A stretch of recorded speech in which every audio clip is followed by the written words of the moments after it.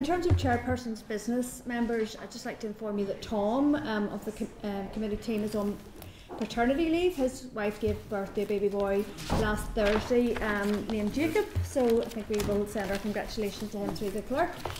Um, members, the first meeting of the East West Council took place on March the 22nd and the committee did not receive prior notification of this and has not received any information on the meeting from the department. So with your agreement, I'm going to write to the First Minister and Deputy First Minister to ask to be informed of any future East-West Council meetings. Or, is that okay? Yeah. Okay. Mm -hmm. Thank you so much. So item three then, um, members, the draft minutes of the meeting um, held on the 20th of March 2024 are at pages 6 to 11 of the meeting pack. Um, are we content with the minutes? Yeah. yeah. Okay, so I'll go ahead and sign them.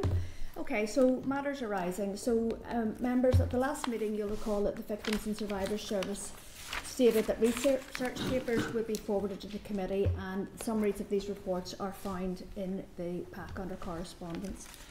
Okay, so moving on to the substantive part of our meeting. So, members, um, we're going to move into our oral evidence session, and I would bring your attention to page 42 of the clerk's brief and I'm going to welcome to the meeting Fiona Ryan, Commissioner for Survivors of Institutional Childhood Abuse, and Denise Morgan, Head of Policy Research and Development. So I would invite you to brief the committee. Thank you. Thank you so much, and good afternoon to the committee. Um, I want to thank the committee for the opportunity to appear before you today. Um, before I start discussing the work of my office, because I promised to give you an oversight of the office, I want to offer my profound thanks to the victims and survivors of historical institutional child abuse whom I've had the privilege of meeting and listening to over the past three and a half years. Um, I also want to thank the victim and survivor groups for the work they do day in and day out supporting victims and survivors. I think we need to acknowledge that victims and survivors are the ones who live with the lifelong legacy of institutional childhood abuse and the abuse that they suffered as children in institutions, and their interests must always be paramount and at the heart of everything that we do. So, thank you. Um, since taking up office late in 2020, I've prioritised meeting and listening to victims and survivors. We've just marked our third full year in operation, and in that relatively short time, almost 1,000 individuals have made contact with my office. It's not easy for victims and survivors to reach out and make that call, and I want to acknowledge that. I know from the many survivors that I have met and listened to that acknowledging what has happened to them for themselves can be extremely difficult and it can take considerable time for survivors to consider applying for redress or seeking support and services or just reaching out to tell someone what happened to them. You know, one woman told us that she kept a, a leaflet that we had hidden behind her clock for, you know, a number of months and she would take it out and put it away and take it out and put it away until finally she said, I'm going to actually make the call. And another gentleman then told us, and he was shaking when he was speaking to us on the phone, that he had waited three months and each day he said he was going to do it and then couldn't. And then when he did, he was like, this was the day he was going to make the call. And um, we're obviously incredibly grateful and we know how privileged we are that victims and survivors choose us to engage with. So while we have been able to support these victims and survivors of historic institutional childhood abuse, I would also like to let the committee know about another group of survivors that we've been contacted by. Um, because I think it's really important for you as a committee to be aware of these people as well. During the household leaflet drop, which happened last year, my office received over 250 calls um, over a period of three weeks. While two out of three of the callers were um, victims of historical institutional childhood abuse and were within the remit of my office, one in three were not. One in three were victims and survivors of other forms of child abuse. And I think that's really important that we acknowledge the courage that it took for them to reach out. And I just thought it was important to bring it to this committee's attention today. Um, I will speak about this later as well um, in relation to the lack of data that we have in general on victims and survivors. Separately, I remain acutely aware that victims and survivors who left Northern Ireland um, the abuse that they experience being a key factor. I mean, I've travelled to Britain, I've met victims and survivors, and they've told me, you know, about their lives, about their experiences, and why they left where they were from.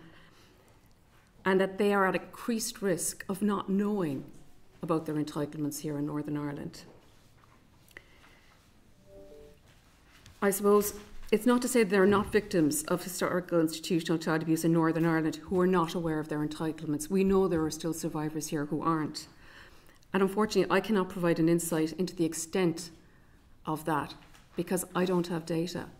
And I think that's one of the issues that I would like to bring to the attention of this committee, and I've said it to you and the opportunities that I've had to engage with you individually.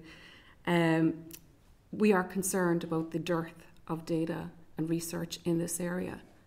Um, we think that it will have a negative impact on planning and resourcing. Um, my office has supported the awareness initiatives which were run in Northern Ireland and which have been undertaken rather in the last year. But again, I am very, very concerned that victims and survivors outside of Northern Ireland are at risk of not knowing about their entitlements, unless potentially they still have those ties with family and friends in Northern Ireland. But not every survivor has those ties. And in fact, part of the process of leaving where you're from because you experience trauma can often be cutting or reducing the ties. Um, that's why, in the space of the last 12 months, I've undertaken um, two international awareness initiatives in addition to supporting the Executive Office Northern Ireland initiatives to promote the entitlements to victims and survivors in Britain, the Republic of Ireland, in Canada, and Australia. Going forward, I feel there is a strong need for targeted promotion of um, services, supports, redress to victims and survivors, both in Northern Ireland and outside Northern Ireland. While there's an element of time moving on, because we're entering into the last year of redress, it is more than just redress. It's about being able to access services and supports that may be very much needed, particularly as people get older and they're living with their lifelong legacy of abuse. It may also be a way for Northern Ireland to say to those victims and survivors who have left, who fled, we have not forgotten you. I think that's important. Um, as in relation to redress, as we enter the final year of redress, my office continues to provide general information and advice to victims and survivors considering applying for redress. I note that the review of the redress process is yet to be published, and I've asked for a proposed timeline for its publication. In the meantime, I continue to engage with victims and survivors about their needs in relation to redress and considering applying for redress, and um, also with the Historical Institution Abuse Redress Board and with the Victim and Survivor Service who are supporting survivors compile their statements of experience. We're also working with the TEO on progressing the recommendations of the review and with other relevant stakeholders. I spoke earlier about the absence of data, and this absence of data does make it harder to know how many people we need to reach in order to inform of their entitlements. Um, I think it was the Northern Ireland Auditor's Office who noted that in relation to historical institutional childhood abuse, that the data on the number of children who resided in residential homes over the period in question is not complete, and therefore were unable to provide a reliable estimate of the numbers of eligible victims and survivors. This was in the context of redress. Last year, we published a paper, which some of you may have read, asking that consideration be given to a potential survey into prevalence in the population of historical, non recent child abuse, and because the international comparators are mainly around child sexual abuse, that this could be considered for Northern Ireland. I asked consideration to be given to such a prevalent study in the hope that it might provide more insight into prevalence and experience of historical institutional abuse. And I think I've remarked to you the fact that one in three calls to my office during, a, in suppose, in all or sorry, Northern Ireland awareness initiative were from victims and survivors who were stating that they were abused in other contexts. Um, I suppose would also underline the need for research in the area, which was a recommendation of the 2020 Gillen Review. In relation to memorial, um, and my intention is to speak to those issues that are of relevance to victims and survivors.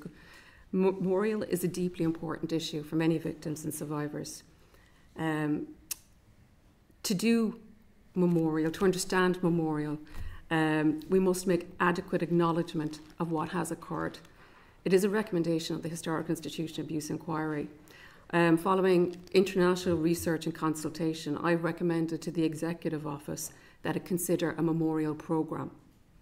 This programme would encompass the inquiry recommendation of physical memorial, but in parallel could include additional types of memorial, such as education, heritage, arts, and social history. It could make a memorial as a process more widely available to victims and survivors of historical institutional childhood abuse and to wider society and potentially to future generations. I've also recommended that a wide consultation with victims and survivors could be used to inform the development of such a programme. In relation to contributions, it has been seven years since the Historical Institutional Abuse Inquiry recommended that the relevant institutions make contributions to the cost of redress and specialist services. The committee will be aware of the importance of the issue of contributions to victims and survivors. Many victims and survivors view contributions as a matter of accountability. I would note that in the seven years since the inquiry, many victims and survivors have unfortunately passed without seeing that accountability be demonstrated. I would be remiss if I did not highlight the number of victims and survivors who have also passed, many of whom their trauma directly or indirectly contributed to their passing. And in my role as Commissioner, I've been to a number of funerals of victims and survivors. And I think it's important that we recognise that these benefits, entitlements, these recommendations, many have not lived to see them happen or be realised. I've previously said that contributions needed to be understood in the overall context of reparations and acknowledgement, and that urgency was needed in moving contributions forward. In addition to the financial aspects of contributions, it is fundamentally a matter of accountability. And like I said, many victims and survivors consider a matter of accountability. Um, going forward, I suppose, you know, it's important that we realise that while we're looking at what needs to happen in relation to the inquiry that victims and survivors are very much alive now with needs now and will have needs going into the future as they age. And so one of the issues that we've been looking at is what is what is the future service provision, what are future service provision needs. Um, I've already said to the committee on a number of occasions that there are significant gaps in data in relation to victims and survivors. We know um, from redress applications and from um, services that the majority of survivors who are seeking assistance are over the age of 50, so we can say that in good faith. What this means is that victims and survivors are an ageing population and that due regard will have to be given to the provision of ongoing services, both specialist and general, as the health risks associated with ageing intersect with the lifelong legacy of childhood abuse. Um, I've spoken to survivors and they have told me that as a result of their childhood experiences, they are genuinely afraid about entering into residential care as older persons, that their vulnerability that they've had as children makes them fear for the future. And I think if there's any way that we can reduce that fear for those survivors, then we need to actually think about how we can do that. Um, the variety of specialist services offered by the Victims and Survivors Service and its community partner, Wave Trauma Centre, have been welcomed by many victims and survivors and those supports are making a real difference to people's lives. My office frequently um, refers to VSS and to WAVE, and in turn, we receive referrals. Um, my office is preparing to launch a consultation on the current and future services needs of victims and survivors, and we'll be working with VSS and Wave Trauma to initiate that consultation. The results of this survey will help us further build on an evidence base of trauma informed practice to support victims and survivors across the board as they move through non specialist services and facilities. It will allow us a better insight to inform future services and will allow us to understand what has victims and survivors' experience been of services and what do they hope for the future from services. Again, I would draw your attention to the absence of data. And while this is a very modest initiative, we're hoping that it will address at least one of the gaps that's there. So, in conclusion, I suppose I would observe to the committee that victims and survivors are individuals and all are on different life journeys. I've met with a considerable number of victims and survivors at this point, and I suppose I would stress the fact that they are individuals with different life experiences. People do respond to their experiences in different ways. As a group of people, they are getting older, and the legacy of childhood abuse is going to intersect with the health risks, thanks, Margaret, um, associated with ageing.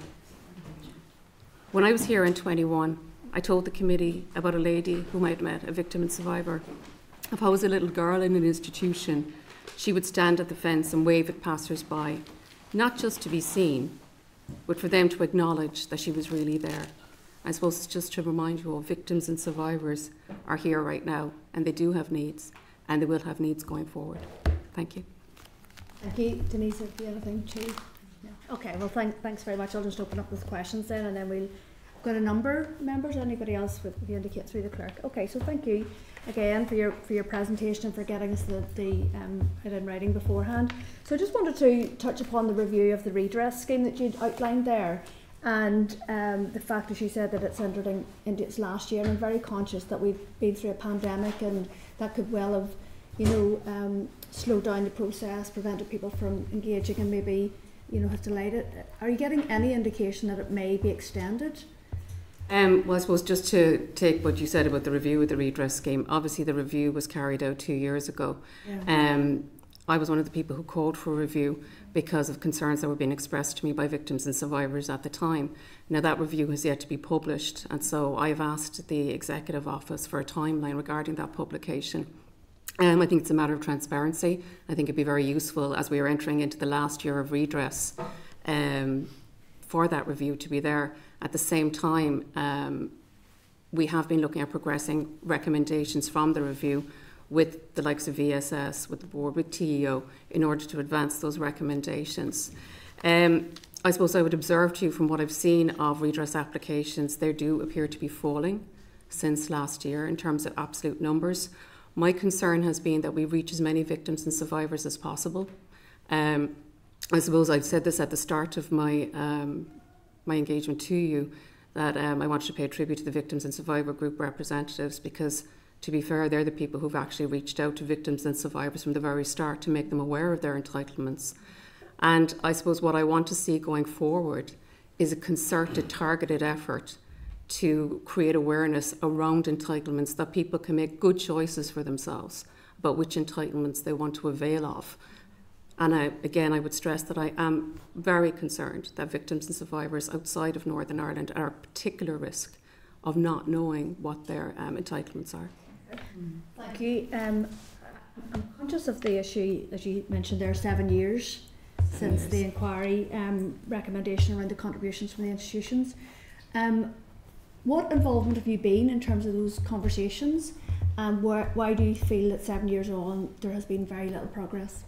So just to be clear, the matter of contributions has been a negotiation between the Executive Office and the relevant institutions. The inquiry recommendation was that the relevant institutions will make contributions to the cost of redress and specialist services.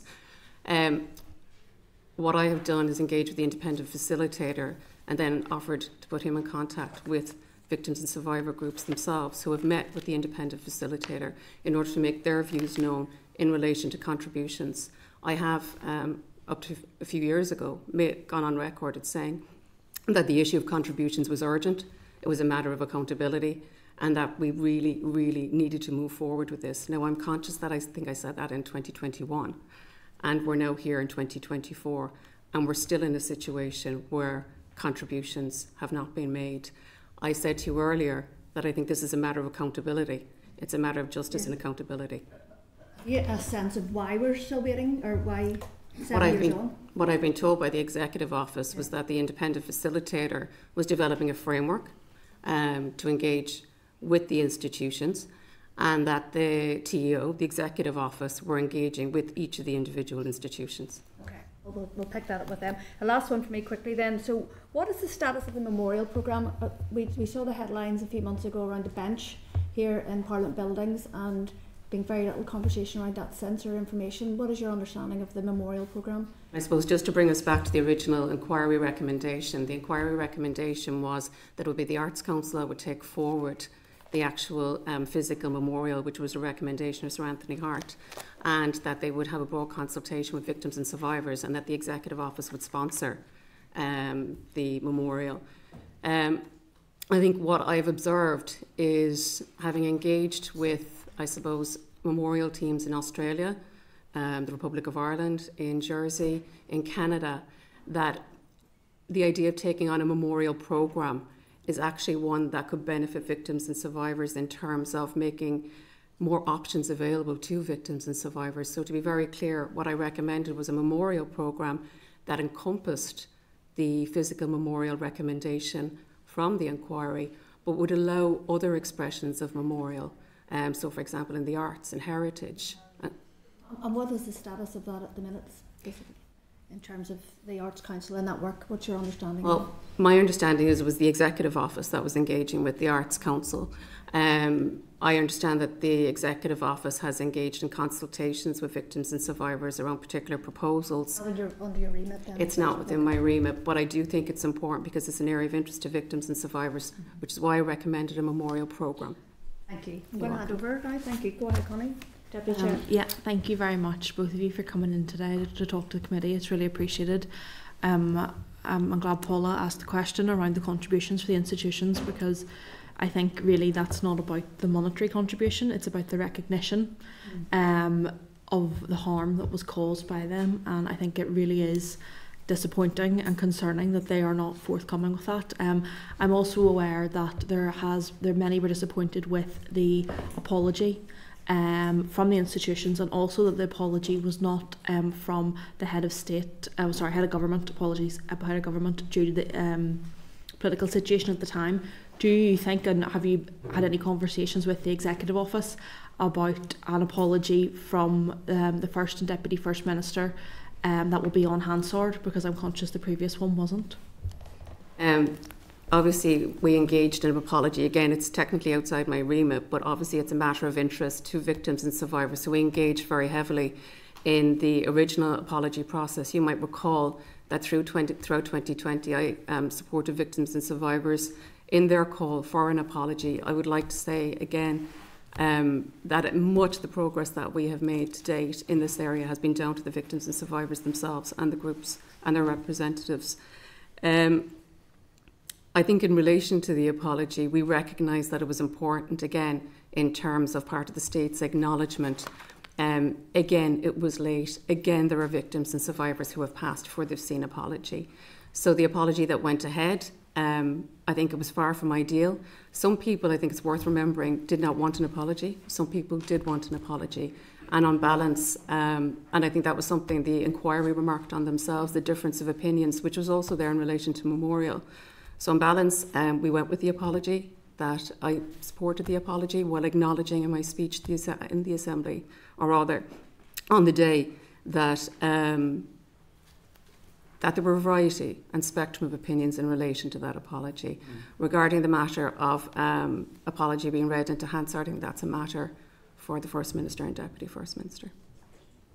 If I could have one more, Chair. Thank you. Um, you were um, spoke a lot in your presentation there about um, the lack of data on this issue in our society.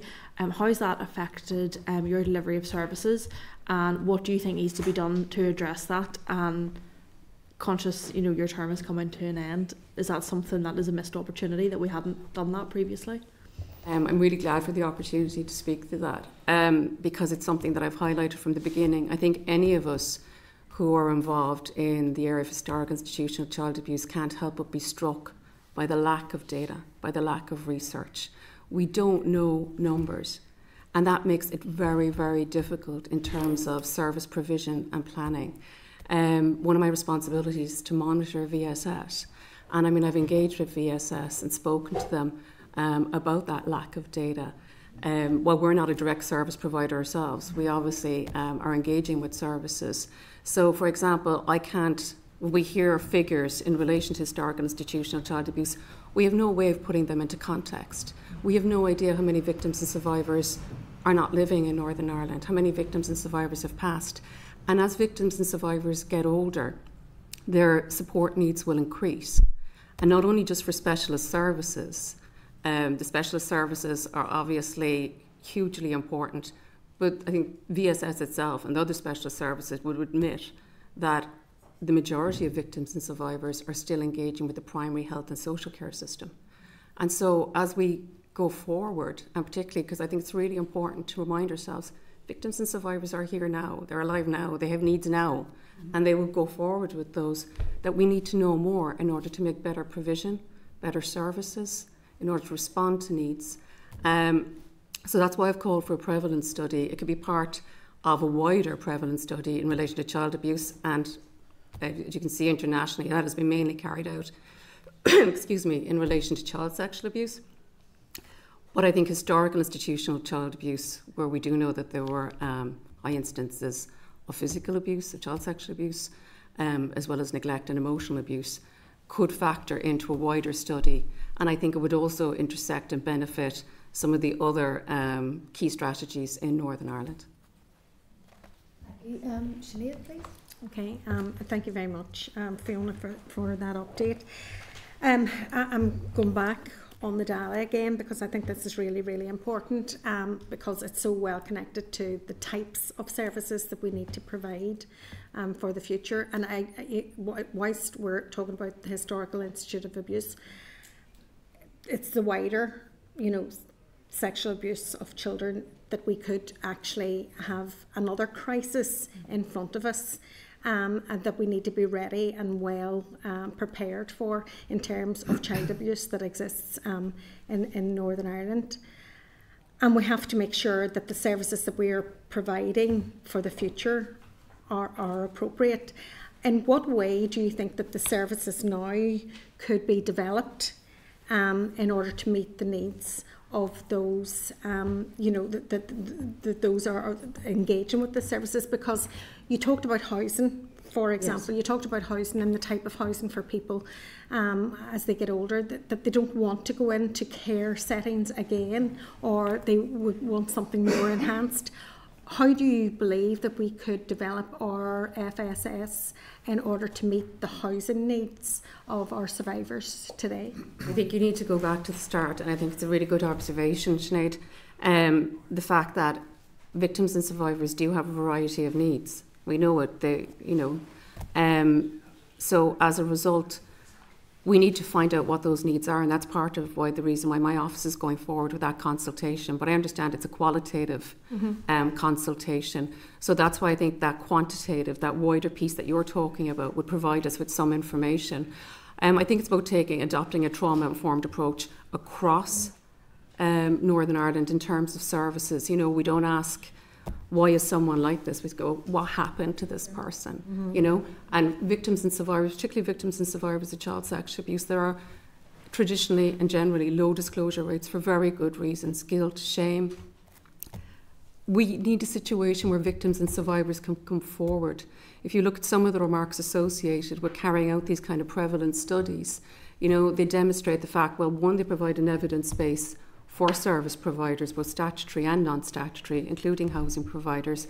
But they also act to change the national conversation around child abuse, around child sexual abuse, which there tends to be a squeamishness about, in that they let victims and survivors know that they're not alone. Mm-hmm. That there are other people out there, because one of the side effects of being a victim of child abuse is that incredible isolation.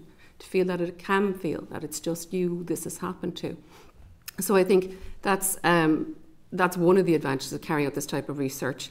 Um, I know because I've spoken to service providers who are ancillary to, um, while not directly providing services potentially to historic institutional child abuse survivors, as in a specialist service, but would obviously be ancillary, and they would tell me that it would be really important to have that awareness as well. Um, specifically in relation to housing, I mean, we have met with the housing executive. We're happy to have that conversation. But I think in the first instance, knowing the scope, the scope and the scale, um, some people will, for many different medical reasons, have to enter into residential care. So let's have those conversations with the residential care providers. Mm-hmm. But first of all, you know, let us understand what it is we're actually looking for. I'm not saying we have to wait to have the conversations for a prevalence study. If they could be progressed in parallel, but to actually recognise this is a reality, this is what's happening for people. I suppose um, it was interesting that you talked about the 2023 leaflet drop mm-hmm. and the 250 respondents that you had within three weeks of that leaflet drop and the, the, the variation, you know, not all of them. Uh, I don't know, did, you give a percentage? One in three. One in three wasn't connected to Historical Institute of Abuse. That in itself, even it, it, it was just, um, I suppose, a small data gathering in a way, mm-hmm. um, indicates, you know, the, the, the prevalence of, this in our society uh, and the impact that it's having on people's mental health and mental well-being. Uh, and, and, certainly I would support you know gathering more data and, uh, and that wider survey, survey. And I suppose um, the one thing that I, I would say is we need to talk about it. We can't sweep this under the carpet. It can't be taboo. And that's why we need to get it into our schools. And that's why RSE is really, really important that people know and understand what abuse is and that, um, that, that the children are not responsible uh, and they don't have to carry this burden and we as a society need to carry them with us in order to support them. So that's no, thank you very, very much for, for that um, brief um, update. Can I add something on to? I mean, Sinead, you raised the point about you know victims and survivors of, um, I suppose, historic institutional child abuse and non-recent child abuse. Mm-hmm. You know, engaging with um, the mental health services, physical health services, and that kind of, I suppose, segues into contributions as well. Mm-hmm. Because while contributions is there to cover the costs of redress and specialist services, one thing that I've observed is that the reality is that the cost to the National Health Service is likely to be much higher than has ever been actually counted in. And um, if we look at parallel surveys from around the world or um, estimation exercises, they're likely to be considerably higher. And I suppose I'd also observe to you that it is the victims and survivors themselves who have actually paid the costs. You know, whether it is through being denied education, being denied life opportunities, um, mental health costs, they've carried the costs. And this has also real, very real world financial implications. And I think we need to be aware of that in any conversation around contributions. Thank you. Um, I'm going to Carol, please. Thank you. Thank you for your presentation. Um, I watched the apology and I thought it was horrendous. I'm just being honest. I thought it was absolutely horrendous. horrendous. And I can't help but feel that the religious orders are taking the same approach as the state did in terms of legacy. They're trying to wind the clock down and hope that these people just go away. And it's very clear that they're not going to. But I also feel there's a role for your office. Um, while I appreciate there's going to be, or there is an independent facilitator that's developing a framework, you know, as a commissioner, as an advocate, there does need to be a statement made in terms of um, uh, redress um, and even just concern in terms of the, the time. So I, I appreciate the negotiations about money, maybe with the department, but as an advocate, I think you have a role. So just ask you to respond to that. I agree with you that I have a role, and I've gone on the record in the past as saying that these um, contributions are overdue, they're urgent, and it's a matter of accountability. And I will keep repeating that. Um, I think there's an opportunity now with the um, with the the executive and you know the restoration of the assembly to move forward to create that environment whereby we say it's time. It's time. It's overdue actually. It's gone beyond time. These contributions were overdue in 2017 yeah. They're overdue now and I can assure you I've gone on the record I've said that I will repeat that and I'm saying that here to this committee now. And I, and I appreciate that because I mean that's our jobs as MLAs. But then when commissioners are appointed, they're the advocates. Mm-hmm. I mean, you, in fairness, have given um, respect to the victims and survivors themselves in terms of their own agency and what they've had to do and overcome. But I think, in terms of your office, that's extremely important. So I'm encouraged to hear what you have to say. Just in terms of the remembrance programme, and I'm glad you've said a programme because. Mm-hmm um, I mean, the last I heard was it's supposed to be a bench tucked in the corner here somewhere, mm-hmm. and you know, I just feel that that's just putting it away, yeah. and I think we all do in that mm-hmm. respect. Mm-hmm. But so, in terms of um, uh, is the the remembrance program dependent on other actions being advanced, or you know, what way do you envisage that being taken forward with people, with the victims? And the last question, and it's very, very quick. You mentioned WAVE and victims and survivors in terms of trauma informed work, which is really important. Is it just WAVE providing that with victims? Are there other trauma related groups that you're aware of? So that's that's my questions, Chair. Thank you. Okay, I suppose I'll take them from the top. Um, in terms of memorial programme, I mean, we obviously have the inquiry recommendation, but as you very rightly say, my role is to be an advocate in this area. Mm-hmm. And it became very apparent that while some people want a memorial, some people don't. And that was acknowledged from the time memorial. and even in, or the inquiry rather, and that also that there were a variety of views in relation to memorial. So in order to gather international best practice, I think I said to you, I engaged with the memorial teams in Australia and Canada, in the Republic, and in Jersey.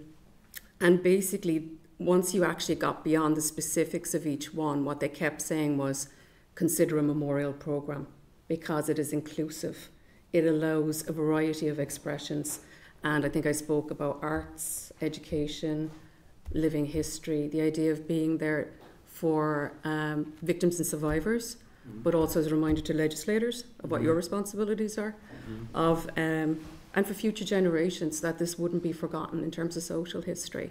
So I think from my perspective that there's an opportunity there to engage in a widespread consultation and to honour the inquiry recommendation, but to engage in that widespread consultation and, if possible, use it to inform a programme going forward.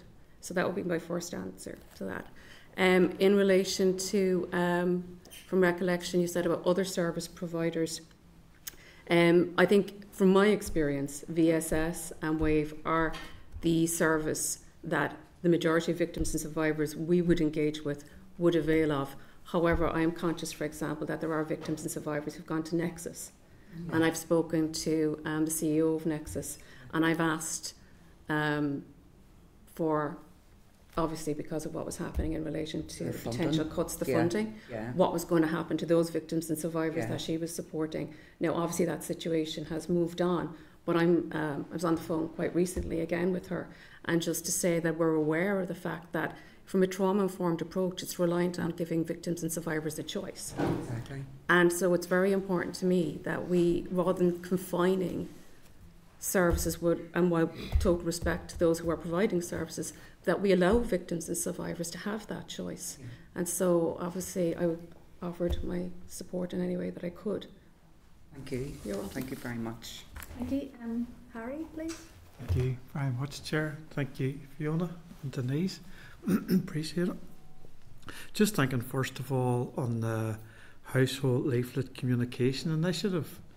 I mean, that was obviously very, very useful. Do you think in the foreseeable future that should be something that maybe should happen again? And as well as that, are there any other means of communication happening at the minute? Thinking of electronic means or that, if you could maybe answer that first, please. Thank you. Um, I think it's really, really important that um, we do everything we can to reach victims and survivors of historical institutional child abuse. You might notice that I don't use the term HIA. I don't like an acronym because I think going to the points this committee has very rightly made, this is about historical, institutional child abuse. If we don't use the words, then we can't create the conversation. And if we can't create the conversation, we can't create the change. So we need to actually get the message out there and create a situation where victims and survivors can come forward and are comfortable coming forward. So, in relation to the leaflet drop, um, I think it had. I think it was very welcome when it happened. My own my own um, view would be that we need an integrated marketing communications initiative going forward. Um, we're entering into the last year of redress, but I think we need to be clear that this is more than just about redress. It is about supports and services, but it is also about creating an environment where victims and survivors can come forward and say what has happened to them safely and know that they will be met with good responses. You know, so I think that going forward, rather than scaling down our communications, that we need that the executive office needs to scale up its communications, and those of us involved need to do similar. And that means as well as that it's the one and three that Sinead had mentioned that are outside your remit as well, that yeah. Probably out there at the minute still and you needing help. If I could just a wee no, please. Um, the two international awareness initiatives that happened lately, could you maybe tell us where they were and how would you gauge the success of these events? Um, I be very honest with you. I mean, these were very modest initiatives undertaken by my own office. So a lot of them were. Um, we looked at looking at key centres, for example, in Britain, where we knew Northern Ireland victims and survivors had migrated to because with a small limited budget we were trying to make the maximum impact. So we made sure to run, say, advertisements in local newspapers, in London, in Manchester, in Liverpool. And then we sent out, I think it was a, something like 300 to 500 letters to um, agencies involved in supporting victims and survivors in the hope that we could engage with vic- victims of historical institutional child abuse as part of their wider remit. Mm-hmm. And that's been quite useful, and we've been asked over by a number of agencies again um, to engage with them. Um, we are also, I suppose, we spoke to the Irish Abroad Unit through the Department of Foreign Affairs, and they were very helpful in putting in, us in contact with their contacts. Um, I think the issue for us is um, in terms of trying to reach victims and survivors of historical institutional child abuse, because we know there are very low disclosure rates because of the guilt and shame, many people are reluctant to come forward. It feels like sometimes like it's an iceberg, you know? And you can't help but thinking that for every person who's gained the courage to call you, that there are people who are standing in their kitchens wondering, can we reach out? Can we call? Is it safe? Um, we've had some unexpected successes as well in terms of um, most recently having sent out um, letters again to, um, we sent them out to ambassadors, um, to, um, you know, anyone we thought basically to make them aware. And so we've basically been contacted by the Australian ambassador to Ireland, and we've been contacted by the special advocate, which has been appointed in the Republic of Ireland to have further conversations. I am going to do everything that I can in the time that I have in office to reach out to victims and survivors. But I'm conscious of the limitations of my own office, but I'm going to do everything I can within the um, resources that I have to do that. Because I just think, just a final comment, I think of what you said. I mean, um, some of the people that kept the letters or leaflet for a week, three weeks, or whatever, while it was good that they did make contact, we have to really be mindful of those that haven't or haven't been able to you know. Absolutely. And we, we by I think by renewing our communications efforts, yeah. we signal to them that we still want to hear from them. This wasn't a once off. We want to hear from you. Thank you. Thank you. Thank you. Um, Emma, please. Thank you, Chair, and thank you both for your presentation. And apologies at the outset for, for being slightly late. I got held up on another meeting. My um, question sort of relates to the, the point that Harry and, and Sinead were making earlier. That was the, the thing that stuck out to me in the presentation. the fact that you did this leaflet drop and a third of those who mm. contacted you in the immediate aftermath didn't fall within the remit of this particular scheme. Um, so, uh, like, like, even us who are, and I was in this committee before, um, even us who are involved in this and familiar with it, there's, I feel like you know, within wider society, there's a lack of understanding of the difference between, you know, historical institutional abuse, the mother and baby homes, and then other sorts of institutions where abuse occurred, but not in a context that falls within the remit of this particular scheme. So I know that that you have stated that there was signposting and support offered to these people. I wonder if you could talk me through what that actually consisted of, and I'm very aware that even like in, in the work that we do in dealing with constituents around like the benefits, the impact that it has on a person when they apply for something and are told that they are not eligible. And the the, the whole journey that a person goes through then in, in, in the wake of that and that they're not vindicated that their suffering is not recognised and all the implications that that has. And this I suppose is an even more extreme version of this these are obviously people who did not understand that the abuse that they suffered is the, is what you're trying to address. Um, so I, I like I'm really concerned because those people obviously mm-hmm. felt that this information resonated with them, mm-hmm. and so where are they going to turn to? And the second thing that I, I, I wondered about was obviously we know, and it's been referred to before, and, and Carl. Uh, was asking you there around the sort of trauma informed aspect of this and the, the organisations that are that are, are dealing in, in that regard. This is obviously intergenerational. There are going to be people who were never in an institution themselves, but somebody belonging to them was, and it has far-reaching consequences. And we know that that you know throughout Irish society there are families that have been impacted by this who never themselves experienced it. And I wondered if you've had any interactions with people who are the loved one, the child, the grandchild of somebody who was affected, and how you have responded to that, or where they sit in terms of your remit and your responsibility. Sorry. Not at all. Um, thank you for giving me the opportunity to speak about it. Um, I suppose just first of all to put on the record, the leaflet drop that I'm referring to was the one um, that was the household leaflet drop. That was um, it was actually the executive office carried it out, and ourselves and VSS our contact details were on the leaflet, which is why people contacted us in the first instance. So just to make sure yeah. about that. Um, I suppose I want to be very clear as well um, that two out of three people who did contact our office were within the remit of historical institutional child abuse, and their concerns, their um, queries were primarily around how they could access redress and how they could access services. And so we were able to proceed with those. I think that's very important that, you know, because mm-hmm. I am the Commissioner for Survivors of Institutional Child Abuse, that um, we actually um, underline that fact. I think we were as surprised as anyone else by the one in three during that period. And I think it probably speaks to the fact that it was a general household initiative. So you're actually reaching the general population. I think to your question, you might find this interesting that while people called us, and some of them were surprised that they weren't in remit, and said, But hang on a minute, I was abused. I was abused in a particular setting and then to have to explain that someone wasn't. And I'm sure, as you said yourself, working on a constituency basis, just the devastation. But I think how my staff approach it is basically to acknowledge, to listen, and to know to believe. Yeah. Yes. And that's really important. And then to say, okay, this is what's available. These are the services that are available that are there. But I suppose to be careful with the fact as well. I mean, there we are a ten-person NDPB. We're a ten-person organisation, and um, so we take the approach to be trauma informed, to be empathetic, to be human, to just listen. Um, interestingly, people said to us, I know I'm not in your remit, but I just want someone to hear me. I want to tell someone this happened to me. And I think that's really powerful as well.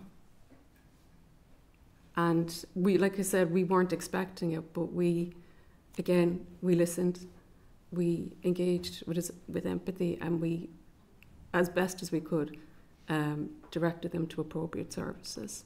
In terms of the services that are available, I mean, there are the immediate specialist services, and then there are those services, you know, that are the crisis services. There are the primary healthcare services. There are other forms of specialist services, you know, like mental health services, or, and we spoke about um, Nexus as well. So I think to understand that it's sort of at the risk of sounding a very trendy term, an ecosystem that uh, we're trying to navigate at any one time around services.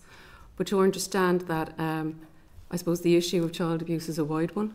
It's one that affects all, affects all levels of society in different places, and victims and survivors of historical institutional child abuse um, are part of that wider grouping, but have very specific needs in their own right because of their experiences of institutional child abuse.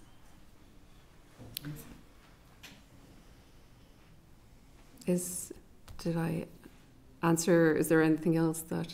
Um, yeah, no, I, I, I appreciate what you're saying. It's mm. just the, the, those people who themselves. I, I'm imagining there are people that have contacted you who they themselves might not have been in an institution, but maybe someone, yes, and maybe somebody even deceased. And I just wondered what the response to those individuals is, or what way you're. It depends on the nature of the query. Okay. Um, so I've had I've met with um, families of victims of survivors. Yes. So for example, the victim of survivor might have come in with their partner or their son and daughter. And I think, you know, you were talking about transgenerational trauma. I think there's that element of transgenerational responsibility. And it's so moving because you see mm-hmm. the sons and daughters of victims and survivors, and they want to be their mums and dads' advocate, and they want to they want justice for their mums and dads, and you know it's so important to acknowledge that as well. That you know the while the individual experiences the abuse, that it has a you know a ripple effect across the generations, and that sense of I suppose almost responsibility to ensure that, um, like anyone would, that your, your mum or dad or your partner are actually being supported, getting the entitlements that they deserve. So, um, so I have met with the sons and daughters and with the partners of victims and survivors. and um, it's very powerful. And you can see the sense of responsibility and sometimes the weight of that responsibility on them. That's grand. Thank you very much. Thank you. Thank you. Okay, Claire, please. Uh, thank you, Sharon. Thank you for coming through. You know, really inspirational, powerful kind of conversation that we're having here, and I hope it does have that impact um, on the executive office to do more in the time that you know has passed since. And certainly, I'm very conscious that we are the scrutiny committee of the executive office. And is there anything that we could do as a committee to, I suppose, put that pressure on the executive office to, to move that work maybe forward more quickly or, or more forcefully. Um, you know, conscious of you know press statements that were made today, and I agree with that. You know, we, we, we do need to push this on. Um, I suppose I'm going to come back to themes that other um, members um, have have talked about. Um, the one that I'm really interested in and have been for a number of years is the trauma informed practice. Um, and I suppose my question to you would be, you know, I, I very much get the sense that you understand what that means and it is very much about looking at all aspects of policy, whether it's housing, whether it's benefits, whether it's community development. And recognising that th- those people will have a different perspective because of that trauma. Um, I'm not quite sure that the executive office in itself gets that. You know, I, I submitted an assembly question earlier this week and was actually pushed back on it and told to go to each department, um, where, where I was frustrated, and I did push back and say, no, this needs to be an approach which has to happen right across the board. Um, so I, I'm not quite sure that they get it, and I do want, worry sometimes that it's a, tick, a, a box ticking exercise. So I'd be, you know, uh, interested to know how, how do we nearly compel government departments to do it because they're not quite getting it. Mm-hmm. And um, my second point again is on that that one and three. You gave them an avenue. You know, it might not have been the most appropriate avenue, and I'm not entirely surprised that those people were not, you know, that didn't know what you know what the the your service was about and how it wasn't necessarily appropriate for them. But it makes me feel that the other avenues that exist are, are, are not something that they were prepared to go to or maybe didn't know about or, or anything. But it is a prevalent issue within society, whether it's institutional or whether it's domestic, ultimately. Um, so I suppose really you, you conducted a process that maybe other departments haven't done in, in trying to get those people to, to, to, to reveal that or, or to, to finally talk. And is that a lesson for other departments in, in the nature of domestic abuse, if, if that's what we're talking about? And I'm also conscious as well that are people coming to you who maybe weren't abused in, a, in an institutional setting, but the people who abused them might have been in positions of leadership and responsibility, and then that has an impact. So it's not necessarily the setting, but it's actually the nature of the person who did it and their standing within the community, I suppose. So there's a lot there. So. Okay, I suppose I'll take it in reverse order. Yeah, yeah. Um, I suppose first of all, the one in three callers, like I was saying, who did contact my office, um, were disclosing um, child abuse in different contexts. So um, it wasn't adult domestic abuse. Um, my background is in domestic sexual and gender-based violence, so um, I'm just making that distinction for clarity. Um, so I suppose that's the first instance. The second instance is it goes back again to our lack of data in relation to prevalence across the population. Certainly, that number of people came to me, but I don't know how many people are going to different organisations and disclosing their experiences. I think because it was a general campaign with my address on it or my contact details along with VSS's, mm-hmm. that we obviously were contacted by people who either didn't know or did know and were just were seeking support and seeking acknowledgement. And I think that's really important that we understand that. In terms of um, what you were saying, uh, a whole of government approach, which I think is what you're saying, and correct me if I'm wrong, um, I think that has worked um, relatively successfully in other jurisdictions. For example, if I could just share with the committee, um, the in the Republic of Ireland, the um, the latest sexual violence um, prevalence study came out um, last year. It came out under the auspices of the D- domestic and gender-based violence strategy, which is led by Department of Justice, but you know has an oversight, I think, for Department of, on Taoiseach, and has representatives from all different government departments on it. And it has provided a useful baseline. It's the successor to the SAVI report. And as a result, what it was able to do was provide a prevalence analysis across the Republic of Ireland of the incidence of um, non contact and contact um, sexual violence, both for adults and children. And one of the interesting parts of the survey, where it was relating to people who had experienced contact and non contact sexual violence as a child, was who carried out that abuse. Mhm. And I think that gave a really good indication of potentially where that abuse had been carried out. But that was very much the result of a whole of government national strategy backed um, by a government department that had serious stakeholder engagement at each stage. So I think, you know, when you're talking about that kind of infrastructural commitment, Mhm. that kind of systemic commitment to identifying, naming this issue, and having a conversation about having a national conversation, then I think that's what you're important. That's what I, I'm getting from what you're saying. Yeah, I think so. Um, I, suppose it was really more from the perspective of a trauma-informed approach. Um, I, I'm not sure that each department recognises their responsibilities in that respect, whether it's communities or justice or health or, or, or, or anything. Um, and, and I do feel that the approach has to be that because it's dealing with members of society who you know have to go about their daily lives and all those things affect them. But it's the trauma that has to be considered as part of that. Um, so I think the I think the further we get away from, um, and I would say this just in general across any form of um, social issue, the further we get away from of siloed mentality where we think that it is purely the responsibility for these, um, I suppose, uh, social issues, quite complex social issues, that it is purely the responsibility of one government department without recognising, well, it may be the lead, that there needs to be a significant involvement from others, then we're not going to actually get that overall systemic progress that we need to make a difference. Conscious of time, thank you. So we've got Brian, Patrick, do you want to come in? Yeah, okay, so Brian and then Patrick. Yeah. Okay, look, thank you, Commissioner uh, for, for Fiona for coming in today, and Denise, your staff member, and others who are here as well, uh, who I know have played a role uh, in campaigning on this issue. Um, and uh, thank you for the practical support that you're providing, and also that personal support and advice, uh, uh, but also the recognition that you're giving to people. And I think you're giving people their dignity by being recognised.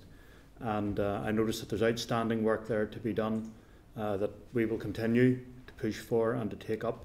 Uh, I accept entirely the apology did not happen in the way that it should have, and that was less than it should have been, and to do with the circumstances at that time. But I think some of the others were, were present here uh, at that time.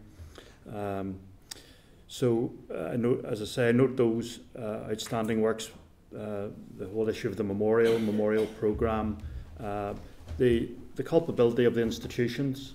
Um, I, very much that's an outstanding matter. It's not just about the money, but it's about the recognition uh, and, and accepting responsibility uh, and for people who they let down and uh, who are entitled to see that they're facing the, their culpability.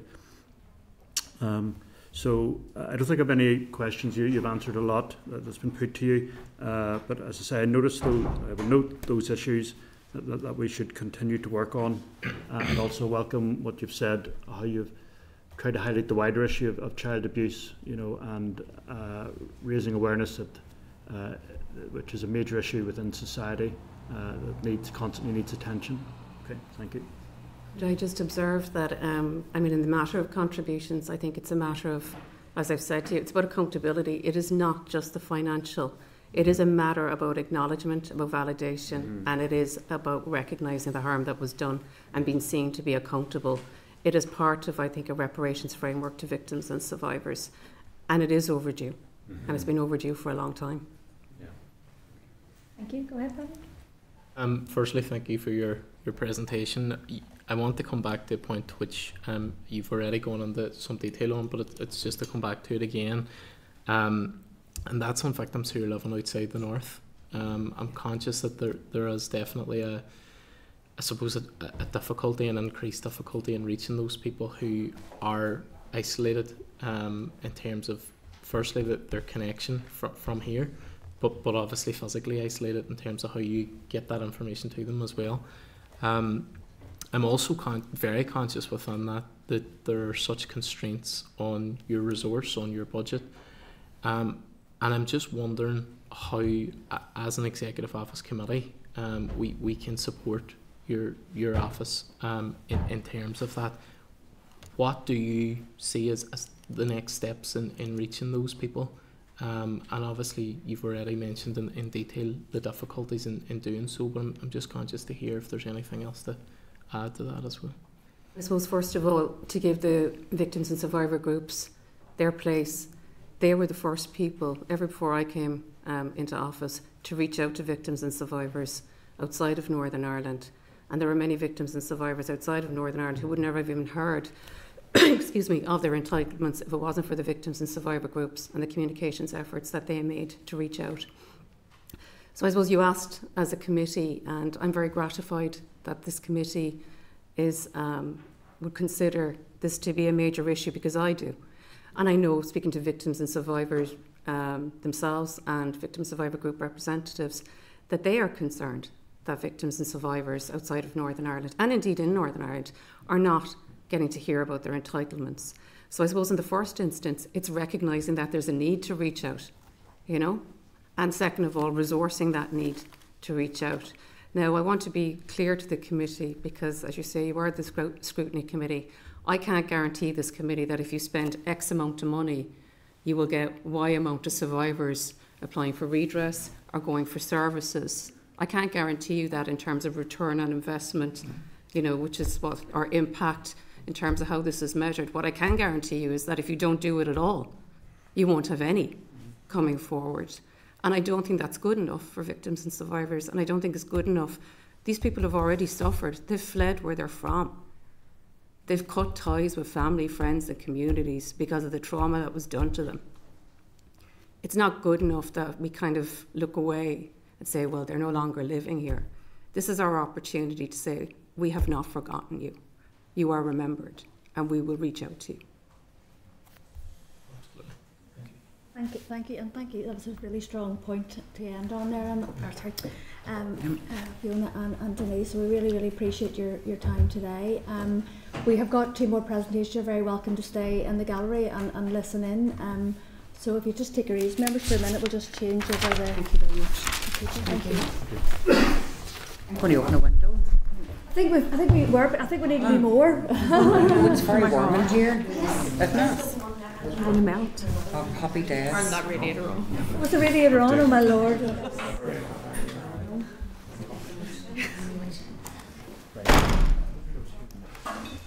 Thank you. Thank you. Thank you very much. Thank you. Thank you.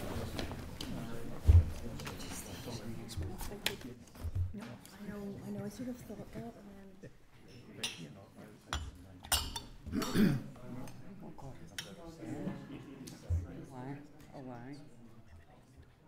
Yeah, yeah. Okay, members. Members, I'm conscious of time. Um, yes. Okay. So can I, I'll, can we move forward with our second yes. panel? Thank you. Okay. So um, members, the clerk's brief is on page. Okay, no problem.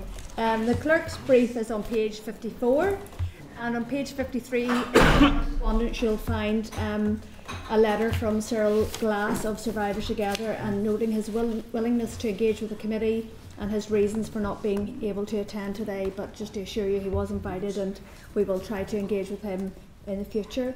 So, members, we're going to um, ask Jerry McCann from the Rosetta Trust to come forward, Professor Patricia Lundy of Ulster University, and I think John McCourt is just coming in now, and he is here as a representative of Survivors Northwest. Members, we, uh, we went over slightly there, just by a couple of minutes, but we have about 40 minutes for this session, so if you want to make some remarks and then we will have some questions, but it'll be a slightly reduced session for this part. So, so I'm not sure who wants to lead. Thank you. Hello, Nana. First of all, thanks um, for inviting us on, and welcome to all of the new members of the committee okay. who we haven't met before, and yeah. welcome again to all of those we have met previously. Um, um, what I'm going to do is I'm, I'm, going to let Patricia open. I'll let Jerry follow on, and then I'll come in behind and we'll take all the questions here if that's if that works for you. Just um, before you go on, feel free to reference the, the, previous panel and pick up on any points you want. So, yeah. Hi, I'm Patricia Lundy, Professor of Sociology at Ulster University, and I've worked with survivor groups for the past decade or more. I've also researched extensively um, historical institutional abuse in terms of what survivors want from redress, but also a detailed analysis of the Hart inquiry itself from the survivor's perspective. And so I would just like to, to start off by saying, you know, when we think of a memorial, we think of, well, what is a memorial for? Who is it for? And what's its purpose? And so a memorial in the first instance is for the survivors, of course, pay tribute, acknowledgement and so on. But I think also there's a wider, a wider purpose for memorials. And that is about wider society. It's about raising awareness. And that's come up in the previous previous discussion. So it is about raising awareness about institutional abuse. Um, and I think a bench really does not meet those those needs. I have to say, um, I think it's important that we look maybe at international examples because there's some brilliant international examples to show us, you know, how this can be done. I think Fiona's point about a program of work is absolutely crucial, and I'm going to come back to that point in a minute.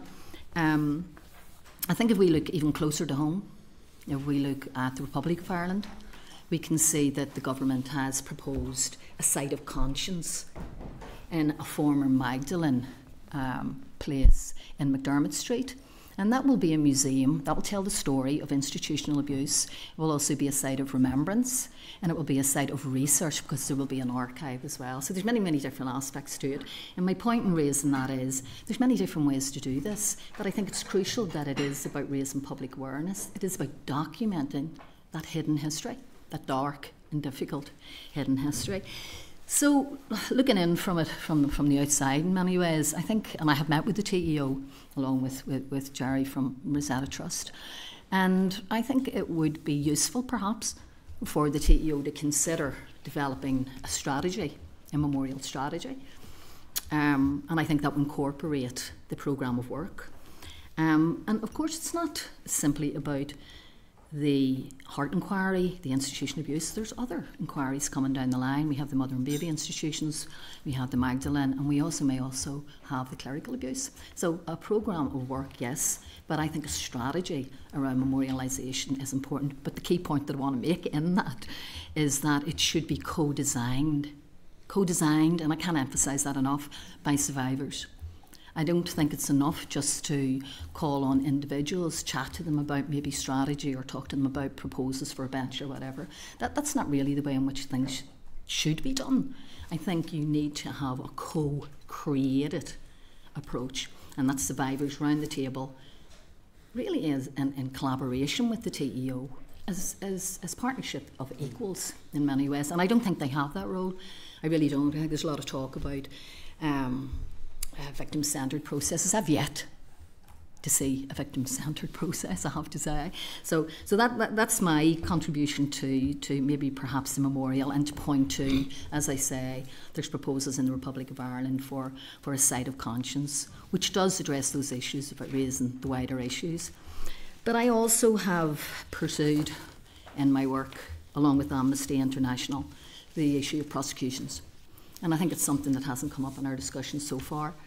Um, I submitted a Freedom of Information request just after the inquiry, uh, the Hart inquiry, and that was in late uh, 17, I think it was September 17.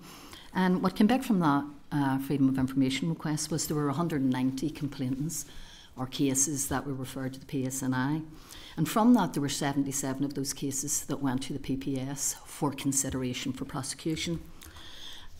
We then asked for a meeting with the with the PSNI to, to, you know, to push this forward to see what had happened to those cases, how they were processed, and the support services that were put in place for survivors. So after many um, letters and emails to the PSNI, we eventually got a meeting, probably I think it would say maybe two years later, but we did have a meeting with the PSNI um, in 2022, and that's myself and Amnesty International. And what we found from, from that meeting was that there had been a special unit set up to uh, to deal with those institutional abuse cases, and it's the historical child abuse team, um, and that was set up in 2020. And it was very difficult to get clarification from the PSNI, absolute clarification, because we talked about data earlier, you know, to get absolute clarification on the cases that had been brought forward from the Hart Inquiry. But I will, I will read you what was given to us um, um, in writing. So there were 297 referrals from the Hart Inquiry, um, and some recent, fairly recent cases from the Redress Board. Um, and from that, 97, so it's not really different from, from my earlier Freedom of Information. So the 97 were referred to the PPS, but from that, um, there were 85 non prosecutions. Um, there was a lack of evidence, passage of time, and a very, very high percentage of survivors pulled out of the process. And I, I was actually struck by, I think it was 60% or more of those survivors pulled out. And I think that actually relates back to maybe rape cases and so on, where, where you know, survivors do find it a very, very difficult process to engage in. But I think that really is something that needs to be addressed, and I would urge the committee you know, to, to look into that because there needs to be support services put in place for those survivors who are brave enough mm-hmm. to take their cases forward in terms of prosecutions. Um, so there was 11 prosecutions. We couldn't figure out what, what, what, the, what the outcome of those prosecutions were, whether they were successful, the length of sentence, what those those crimes were. Was it sexual abuse or physical abuse? We just we, we couldn't pin that down. Um, and there was one caution. So the takeaway for me and all of that is there's very few prosecutions. There, uh, there's been millions of pounds spent on inquiries. We know it has been absolutely, without doubt, clarified that there was systemic abuse, sexual, physical, and emotional, and yet we have very few prosecutions. We also have the issue of corporate responsibility, mm. and that mm. is the issue of information not being forwarded to the authorities. And really, you could call that cover up, brushing it under the carpet, whatever term you want to use. We asked that question of the PSNI had they thought about engaging in some kind of inquiries into that corporate responsibility, and they said not at this point. So uh, I think there's some questions that need to be asked about prosecutions, and that is a crucial part of justice, of course, and accountability and culpability. So, so I think it's, it's an important thing, and, and it, it is very rarely raised. And just to finish on one point, and that is around contributions from the church or churches or religious orders.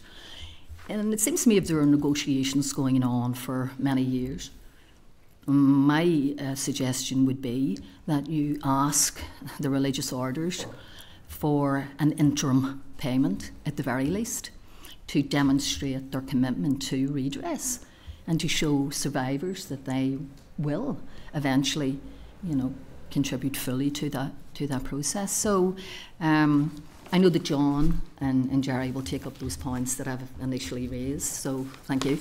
Thank you Okay, um, Jerry. Please. Well, thanks so much. Sinead, I know you, previous chairperson, um, Jerry McCann, Rosetta Trust. Uh, first of all, I'd like thanks very much for giving us the opportunity. Um, I have a number of issues which I feel from previous committees are because of the political instability. Uh, it's been collateral damage on all the groups who've been working very, very hard, and therefore there's been a slow implementation of the Hart's report, which is now seven years old. And Certainly Hart unfortunately passed away two years after the report. Um, we're now seeing the final hurdle of the piece of the jigsaw, which is memorial. But I want to go back to the apology, and I know it was mentioned earlier on.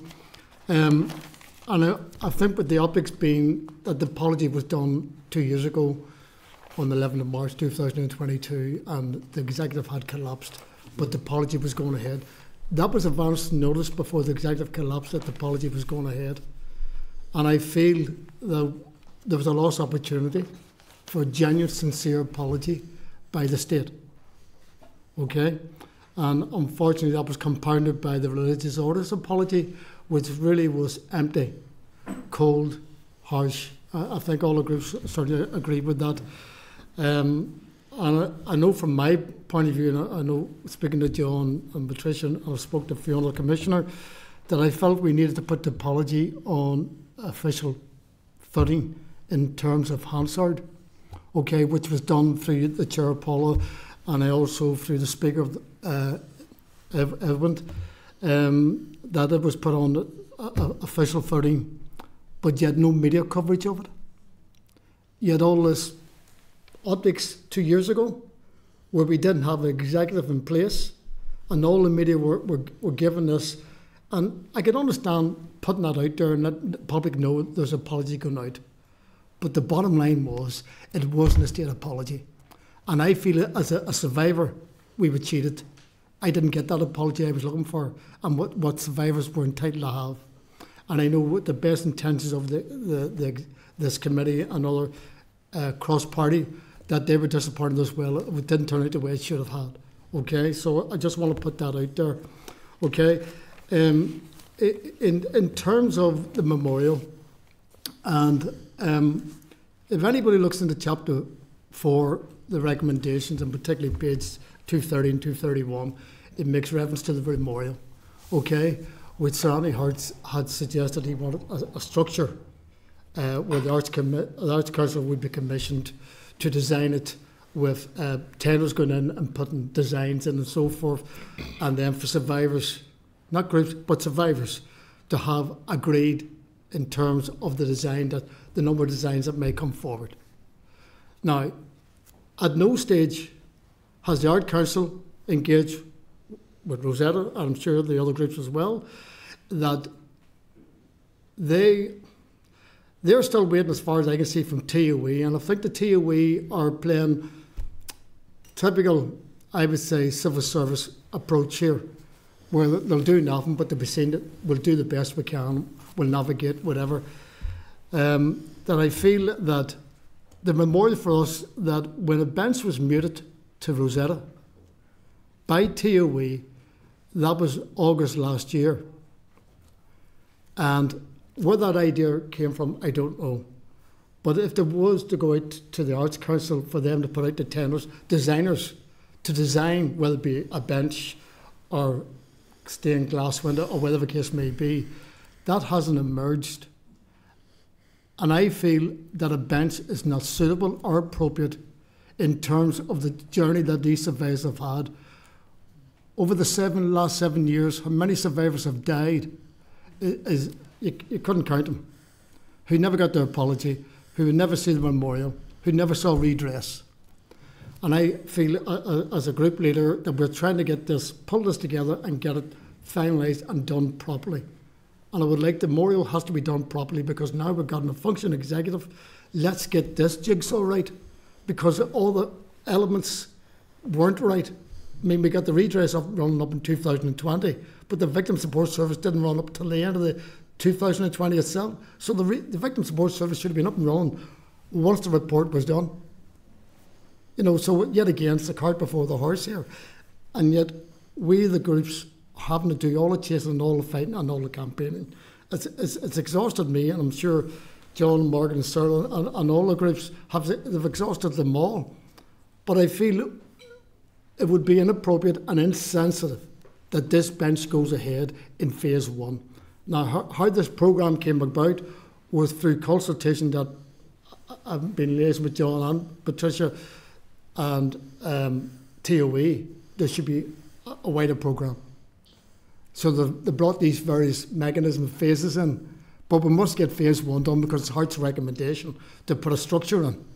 Well, the bench doesn't fit it, and that's where basically where we're coming from. Uh, and I, I feel the fact that we do have an opportunity let's get it right. I think just before I, I would pick up, just pick up on a point that Jerry made, um, the recommendation of the bench in the rotunda. Um, Sir Anthony Hart's recommendation says that the memorial is to remind legislators and others of what happened in these institutions. The uh, bench is going to be placed in the rotunda, which is an area of this building which isn't directly accessible to members of the general public. So it's not accessible. It may be it may be accessible to members of the legislators going into, into or coming out of the um, out of the chamber, but it's not accessible except you're on an official tour with with Stormont staff and to other members uh, to members of the public. Um, sorry, sorry, John. Jerry, Just on that before. I want to say, in terms of events per se, we don't disagree. But I think in terms of phase one, which will go out to the media because it's already been exposed two months ago that we're doing a bench. Now that should not be taken as read. And not only that, but the fact that the TUE had two uh, consultation events both in Belfast and Derry. Well, I'll give you a number 4,200 have went through the redress. And if it's, any, if it's even 100 went to those two events, which is very considerably high, I don't think that's a fair representation of the voices of survivors of what they want. I think that needs to be put on record. Okay, um, from a meeting held in Castle Buildings in 2010 with junior ministers and the OFM, OFM DFM, as it was then, task force lead and staff, a quote The institutions have been put on notice to make arrangements to meet their financial obligations in the event that redress or compensation are included in the recommendations of any future inquiry. That was in 2010. We're now 14 years down the road, 12 years after the historic institutional abuse legislation was passed in the Assembly Chamber, 10 years since the inquiry opened in Banbridge, seven years since the institutional abuse, the historic institutional abuse inquiry released its report containing its outlined key recommendations. Any uh, uh, outlined a, a key recommendation: any voluntary institution found guilty of systemic failings should be asked to make an appropriate financial contribution to the overall cost of the HIA Redress Board and any specialist services. 14 years after the initial insur- uh, assurance that institutions had been put on notice, and with 12 months left before the Redress Board can accept its last application in line with its five year remit. An excess of over of 90 million pounds has been awarded to victims and survivors of historical institutional abuse by the Redress Board since it received its first application in April 2020. That was three months after the then First Minister Arlene Foster stated, I think it is incumbent on those institutions to step forward not only in a moral way, but indeed in terms of financial redress as well. And that is something that we will continue to take up. Since then, not one penny has been forthcoming from any of the institutions that were, in the words of Sir Anthony Hart, found guilty of systemic failings. I was reminded recently, actually by Jerry, of Sir Anthony Hart stating in the early stages of the inquiry that it had the statutory powers to allow the historical institutional abuse inquiry to be effective and mindful of the public purse. Yet, to date, the total burden of redress is coming solely from the public purse, i.e., the taxpayer. At a time when public services are stretched to capacity through lack of resources, cutbacks in the health service, particularly mental health provision, which many victims and survivors of historical, on which many victims and survivors of historical institutional abuse depend. Surely it is time to press the institutions to step up and contribute significantly to the overall cost of redress and any specialist services. We believe we're beyond the point of asking these institutions to make arrangements to meet their financial obligations or asking them again to make an appropriate financial contribution. Any contribution should not be viewed just through the fiscal lens, but should be significantly punitive to reflect the harms done and acknowledge the pain and suffering of victims and survivors. While accepting that some of the institutions may, may no longer exist, many of those institutions have the financial means to do so. For example, the Sisters of Nazareth who some years ago dropped the poor prefix from their title. According to their annual report in 2022 to March 2023, show their income from investments alone at £561,730. One of two sites of former children's homes has a listed value of £1 on that same report. One of those two sites one of those two sites has been, has been developed into a residential care village built on a prime seafront site. Edgecombe Court, Plymouth, has 45 mixed size two and three bedroom apartments. According to local state, estate agents, they're really hard to get. The original guide price was £149,000 for one bedroom, £265,000 for two bedroom, and 520,000 pounds for a three bedroom penthouse with a sea view and a terrace.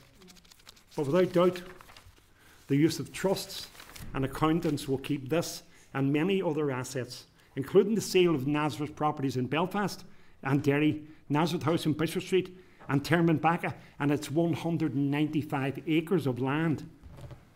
It, uh, accountants and trusts will prevent those being used to meet the financial burden. I would urge those present to question the wisdom of entering into a voluntary arrangement with the institutions and agreeing that an early date to identify them from future costs. That was an expensive mistake made in the 26 counties, where the cost of redress had exceeded 1.5 billion euro, and the institutions pledged in 2009 352 million euro in cash and assets that they themselves valued and weren't independently valued. And a further 128 million euro in 2002 as part of a legally binding indemnity, agree- indemnity agreement protecting them from any future civil cases. Although initially agreeing to a 50 50 split, only 480 million euro has been realised, leaving a shortfall of 270 million euro that the state has to make up. It would not be something we would want to see repeated. To suggest a voluntary contribution against an undetermined top line of the total cost of redress and future cost of specialist services without any safeguard or penalty would be an act of folly. Read the HIA report. That's it there. That's the first volume of it.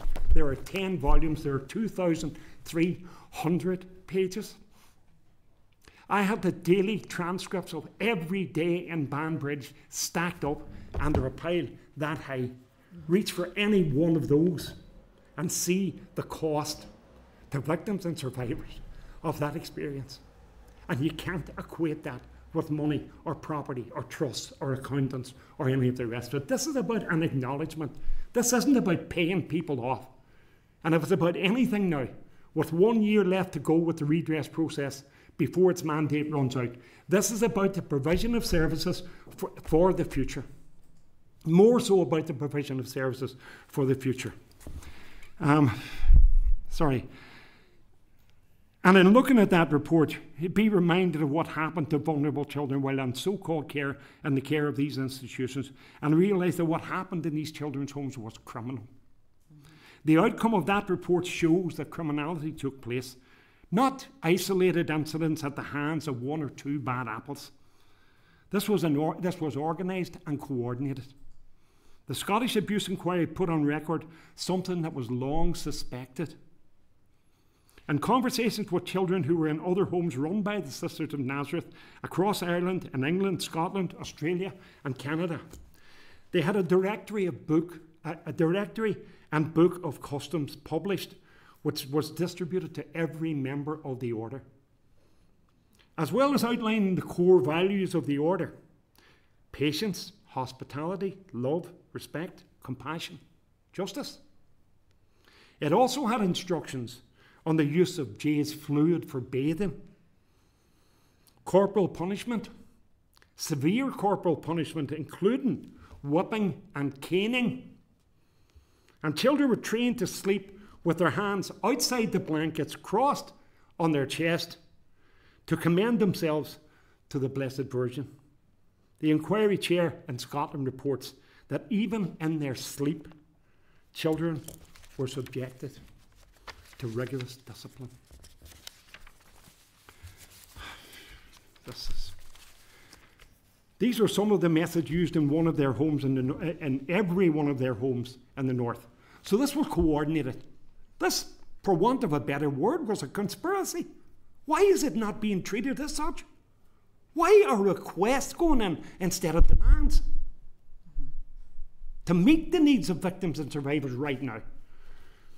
Taken with all the other abuses that happened in these institutions, what happened was criminal. And when I asked at the Northern Ireland Affairs Committee, uh, could legal action not be taken to seize or freeze the assets of the institutions responsible until redress was resolved, Desmond Swayne said, This is absurd.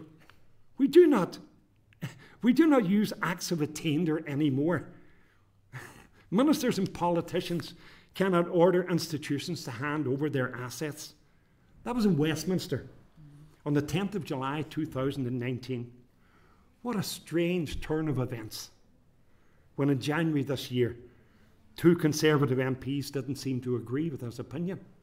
On the post office scandal, Alex Chalk, the Justice Secretary, said if a statutory inquiry into the saga finds the scale of incompetence is as we imagine, the government would want to secure proper recompense on behalf of the taxpayer.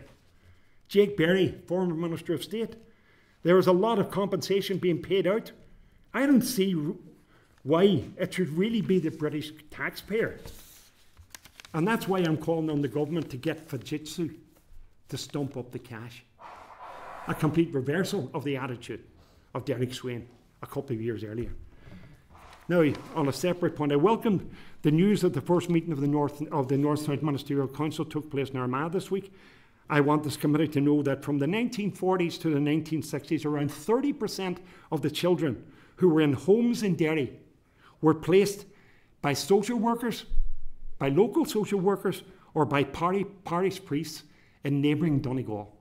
They were sent across the border, shipped across the border, abandoned and conveniently forgotten by the state and the church. De faci ex animo, out of sight, out of mind. Mm-hmm. But while the redress process closed in the 26 counties, they never had access to it anyway because they were not in an institution in the 26 counties. However, we would ask that a conversation be opened through the North South Ministerial Council to seek recognition for those children and what they went through as a result of their involuntary displacement. I ask members of the committee to remember that even when the last application has been adjudicated and the total cost established, future care of victims and survivors will need to be met. And surely it's not too, too much to ask that all of those responsible contribute to meeting that future care. While many of us are now in our 60s and 70s, remember that if someone was 16 years of age, on the last day that the inquiry we're looking into, which was 1996, they are now 44 years of age. They have a lifetime of care that's going to need to be looked for.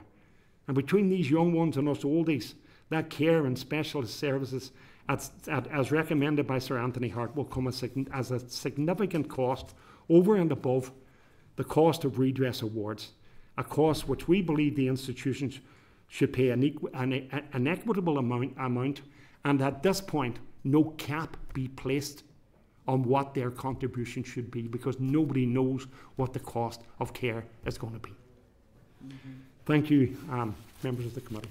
Sorry I took a bit longer than I thought no, it No, no, thank you so much, Yes, I, I really appreciate the research and the, the detail you went into today because I think for some of us we'd forgotten a, a lot of a lot of that, especially the issue there about the putting on notice in 2010. Um, so, so, so thank you again. I suppose um, I, I just wanted to come back, Jerry, to yourself around the issue of the apology. Um, so I, I wrote to the um, executive office and after we met and asked for that apology and I suppose we were all taken by surprise that it happened in the way that it did in the chamber. I wasn't. I thought that it was going to be something slightly more formal. So we're happy to go. I'm certainly happy to go back and, and relay your concerns and, and aspiration for what it, it should look like. And I, I think it would take your point, Patricia, around it being um, victim centred mm-hmm. and, and an involvement in it. So thank you for, for clarifying and giving us the, your feedback on that. Um, I suppose I'm going. I'm conscious of time, so I'm actually going to move on to other members. But genuinely, I really, really appreciate. And I was thinking in my head there, I'm going to watch back your contributions again and take a lot more notes. But I was just so transfixed by what you said there. So thank you so much. So Connie, you any? Yeah, I just wanted to thank you all for coming in today. But you know, especially you know, telling us your lived experience and how the impact of this has had on you and others that you represent. It's, it's really powerful. So thank you so much. Um, I really appreciate you coming in today. And I think only thing I wanted to talk a wee bit more around again is that memorial. Um, conscious, um, Patricia, you had mentioned this as well, but um, I think it it's important that we recognise that the bench maybe isn't supported or felt appropriate by uh, many victims and survivors. And just if you had anything further or if you'd support, for example, a commissioner's proposal for a programme and another form of memorial, if you think that would be more appropriate. I think a programme is the way to go forward because you know you're not going to please everybody. Mm. We, we, understand that.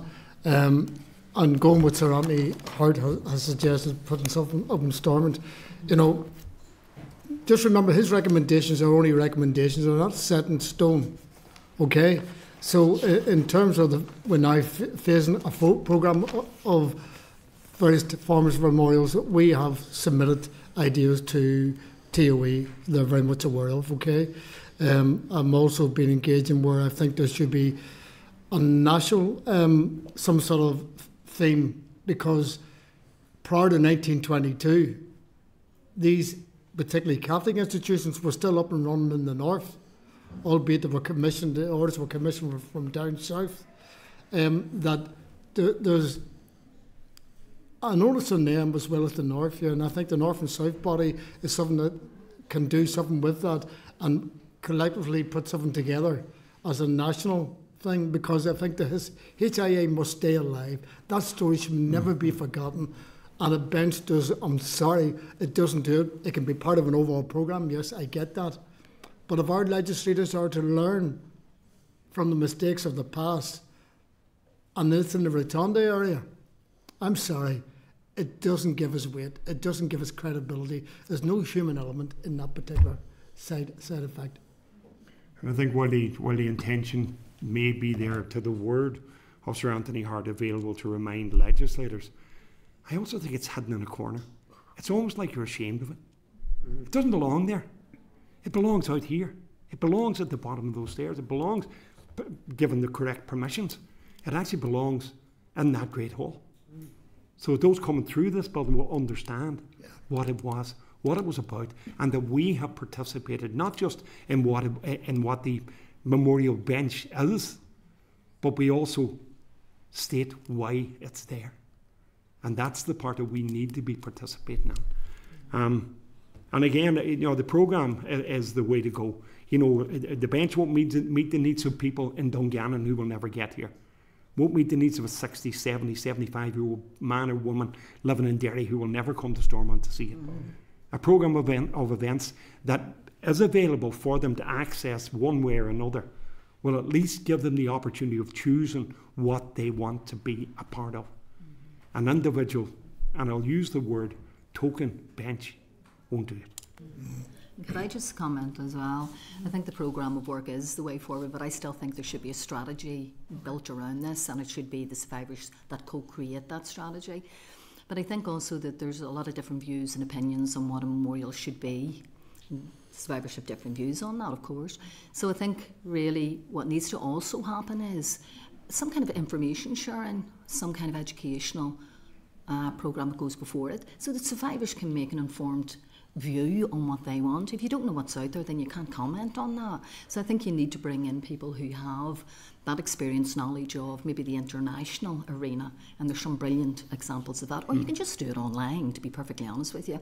You know, you can access a lot of that online. So I think that would be a useful thing to have that information sharing with survivors before that but crucial, and I'm sorry, I just have to repeat this every time, that has to be co-created and that has to be around the table, not just going to individuals individuals here and there, it has to be that co-created, that, that, that will be meaningful, I think. And to be honest, to be fair to, to the executive office and the team, uh, we had people from the executive office come to Derry. I had already mooted the idea of local recognition points for suitable memorials. And they came, they, they came with designs, they came with suggestions. I've already spoke with, uh, with Derry and Strabane District Council. And they're open to a suggestion in the right site of putting a memorial in the city that will recognise the recognise um, the the victims and survivors who are from that city. So I think that's something again that we have a step ahead of it, and it's always like you know victims and survivors seem to be a step ahead of it, or actually pulling the horse along. Mm. But you know I'm not going to dismiss the fact that TEO did have a discussion with us, but the discussion we had was around the local locally placed memorials it, to the best of my knowledge, and anybody knows me knows I have a pretty good memory, I don't actually remember the bench in the rotunda being mentioned once. And Carol, please. So, thank you. Um, the the strategy um, for me just isn't about um, remembrance. It shouldn't be about remembrance. Um, I mean, even the whole issue around data disappearing come out very records not been kept. I mean, it was for all intents and purposes a criminal acts. Um, but what what I'm interested in is, you know, given that there's one year left of that mandate, so you know, and so what is the the present? I mean, I know the present issue is about acknowledgement and recognition. Redress is a part of that. But is it about um, the national recognition? And I mean, are there things that you could do in the short term while waiting on? Because I'll be honest with you, I have no faith in so legacy um, investigations, particularly around um, child sexual abuse and things like that, are are you know even without them being in an institution are really really difficult. I have mm-hmm. worked with families, and after them bravely coming forward with what I thought was enough evidence, but I'm not legally trained to fail. Mm-hmm. So it's not that the police won't pursue it; they will, but then it goes to that whole system. And we've also got Paul and I are aware of even neurology scandal, where the families have went to the police and they're really pushing for the investigations. So in terms of what we can do, what I mean, if we were to talk to everybody in TO, what do you want us to say on your behalf that needs done here and now? I think first of all, you know, I mean, word needs to get out there to to reach as many victims and survivors who haven't as yet got in touch with either the redress board, the commissioner, or or VSS to find a way forward. Let them know there's a way forward. And like abroad, I mean, we had a meeting in 2017, and the head of the civil service said, "Look, there's a gro- there's a global strategy ready to be launched." It's 2017. You know, we're in Global 2024. You know, we heard the same thing in the Europa Hotel in 2019. There's a strategy, strategy ready to be launched. All we have to do is, Jerry, what's the word? Yeah. Hit the button. Hit the button. Hit the button. The button's still to be hit. I think someone's running around there looking for the button.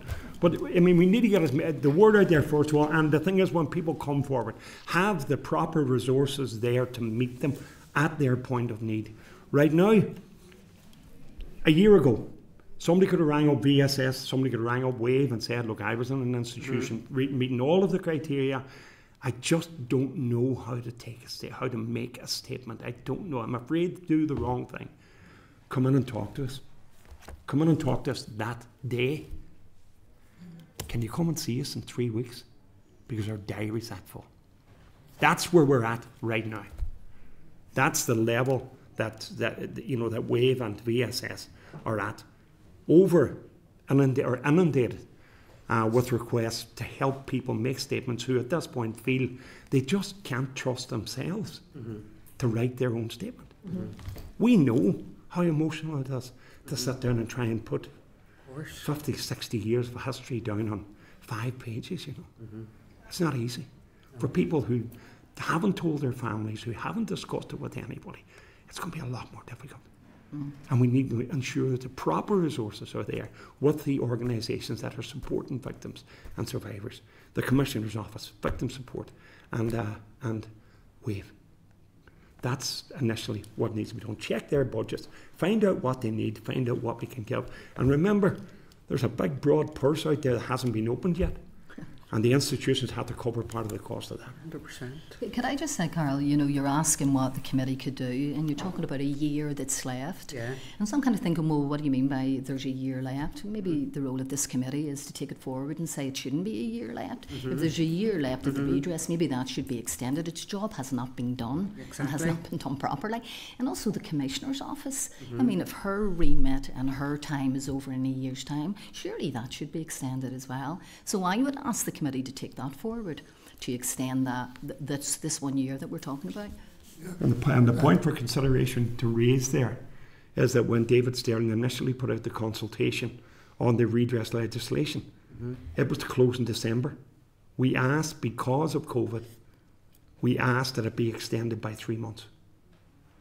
The release of the the release of the application form actually arrived the day of the first shutdown. I printed off 150 copies and personally got them delivered through a community hub to victims and survivors in the, in, Derry, in the Derry area. We lost all that time. People weren't able to access solicitors. They weren't able, you know, there's time owed there if we're talking about an extension. The justification for it is there was time lost in applications mm. at the start because of COVID. So, you know, let's not call April 2025 the end date of the mandate. Let's push for an extension. And that's why I asked. It's all right thanks, me thanks very saying much for raising Yeah, that, Carol, yeah. because that could actually have, I, I, I've sort of gone past me, but thank you very much for raising that. Um, ju- just, just sorry, Paul. Just further on that, I think, in, in fairness, the redress, which, as far as I'm concerned, um, would need to be stretched a wee bit further because the numbers are dropping. But we have to ask ourselves why the numbers are dropping. How many survivors still don't know there's a redress scheme out there? Mm-hmm. And, and while maybe the, ma- the vast majority of survivors who've got redress is based in Northern Ireland and, and few across the water, but beyond that, Australia, in Europe, in America, there has not been a wide publicity campaign which was launched and John said the button was ready to go in 2019. Now that didn't emerge. Now it doesn't. I, unfortunately, COVID came in, and I understand it, it, it put a spanner in the works. But nevertheless, the campaign should have went out there because it didn't stop TVs producing programs. It didn't stop newspapers being printed. They had the internet, the media, and that could have been done that way. And yet, the TOE failed to carry out that. And yet, we were told on that day in July 2019 in Europa, it was ready to go. Thank you. Um, Sinead? Okay, thank you, Chair. Uh, and thanks, Jerry, John, and uh, Patricia, for um, your updates and the passion that you have around this, and thanks for the advocacy. Um, I- think you all know what I felt about that apology at the time. I mean, it was heartbreaking, actually. It was another insult, it was another trauma um, for, for victims um, because just the nature of how it how it happened with the institutions been down, but the, the quality of the religious orders um, um, apology was was shocking. Uh, I think uh, they exposed themselves that day um, for all to see very very clearly. Now. Um, Fiona said something earlier on, uh, and um, it connected with me. She says, "You know, don't say HIA, Historical Institute of Child Abuse. Call it what it is." And I think we need to do the same about the culpability and uh, uh, about the, the compensation. We need to call the religious orders out. We can't say organisations or institutions. We've got to give it a name because they are not being honest brokers in any of this. Um, and it's my understanding with um, conversations that I've had within the executive office as well that there are, you know, there's great obstacles been put in the way, particularly with some of the institutions, the Sisters of Nazareth, etc. And they don't want to actually um, come forward with money. They're putting obstacles in the way, and I think we've got to say it out loud and clear so that people that are, if they come back and listen to this committee, they know who they are. They are saying no to compensation, compensation or they're putting obstacles in the way of it. Uh, and I think we have to get under the body of that. The executive office has a role to play in that, and they have to be very robust in it, and they have to go after them.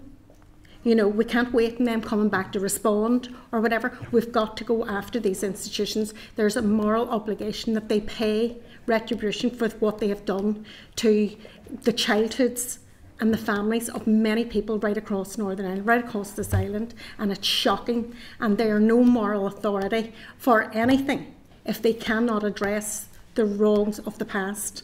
And there's a, an obligation. I feel very, very strongly about it um, because you know we can't sit here and talk around this as if it's you know some kind of obscure bodies. They're here, they're alive and well, and some of them are still telling us how we should behave, and that is absolutely totally objectionable. So the executive office needs to deal with this, and they need to deal with it robustly. And I don't even think they're being actually ambitious in how and, and, and uh, assertive enough in how they actually go after their money, their hidden assets, and their trust bodies.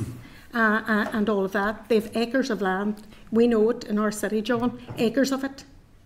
They're rich organisations and they have money and they should pay. Sorry. That's not a question, it's just a statement. Can I just say something there on that? You know, uh, there seems to be a lack of transparency around all of that. Exactly. I mean, I've been asking a lot of questions around it and can't get answers to it. You know, so there's some kind of negotiation going on behind closed doors. So maybe the job of this committee, the scrutiny committee, Yeah. is to also ask for information about that. Well, I asked at one, I think it was the first meeting, I asked where, where, where they were at with it, and they said that there was this process, but it was a, it was a broad sort of discussion, and I think that certainly after this today, we, we've got a lot more information, a lot more ammunition to go back with that. So, I, go sorry, ahead. sorry. Yes, sir. Um, I did have a, con- a conversation with the independent mediator who was responsible for putting together the framework. And I think that was in January, and he told me that he had sent his draft proposal. He didn't tell me what was in it. He'd sent it to the First and Deputy First Minister, but without a First and Deputy First Minister in office, it wouldn't be enacted or wouldn't be looked at until that happened. So now is the time to ask the First and Deputy First Minister what happened these proposals and when. I, and I think the public has a right, not just we as victims and survivors, I think the public has a right to know what is being proposed and what is, and what is, what is being proposed, and secondly, what is being offered by the institutions, if anything.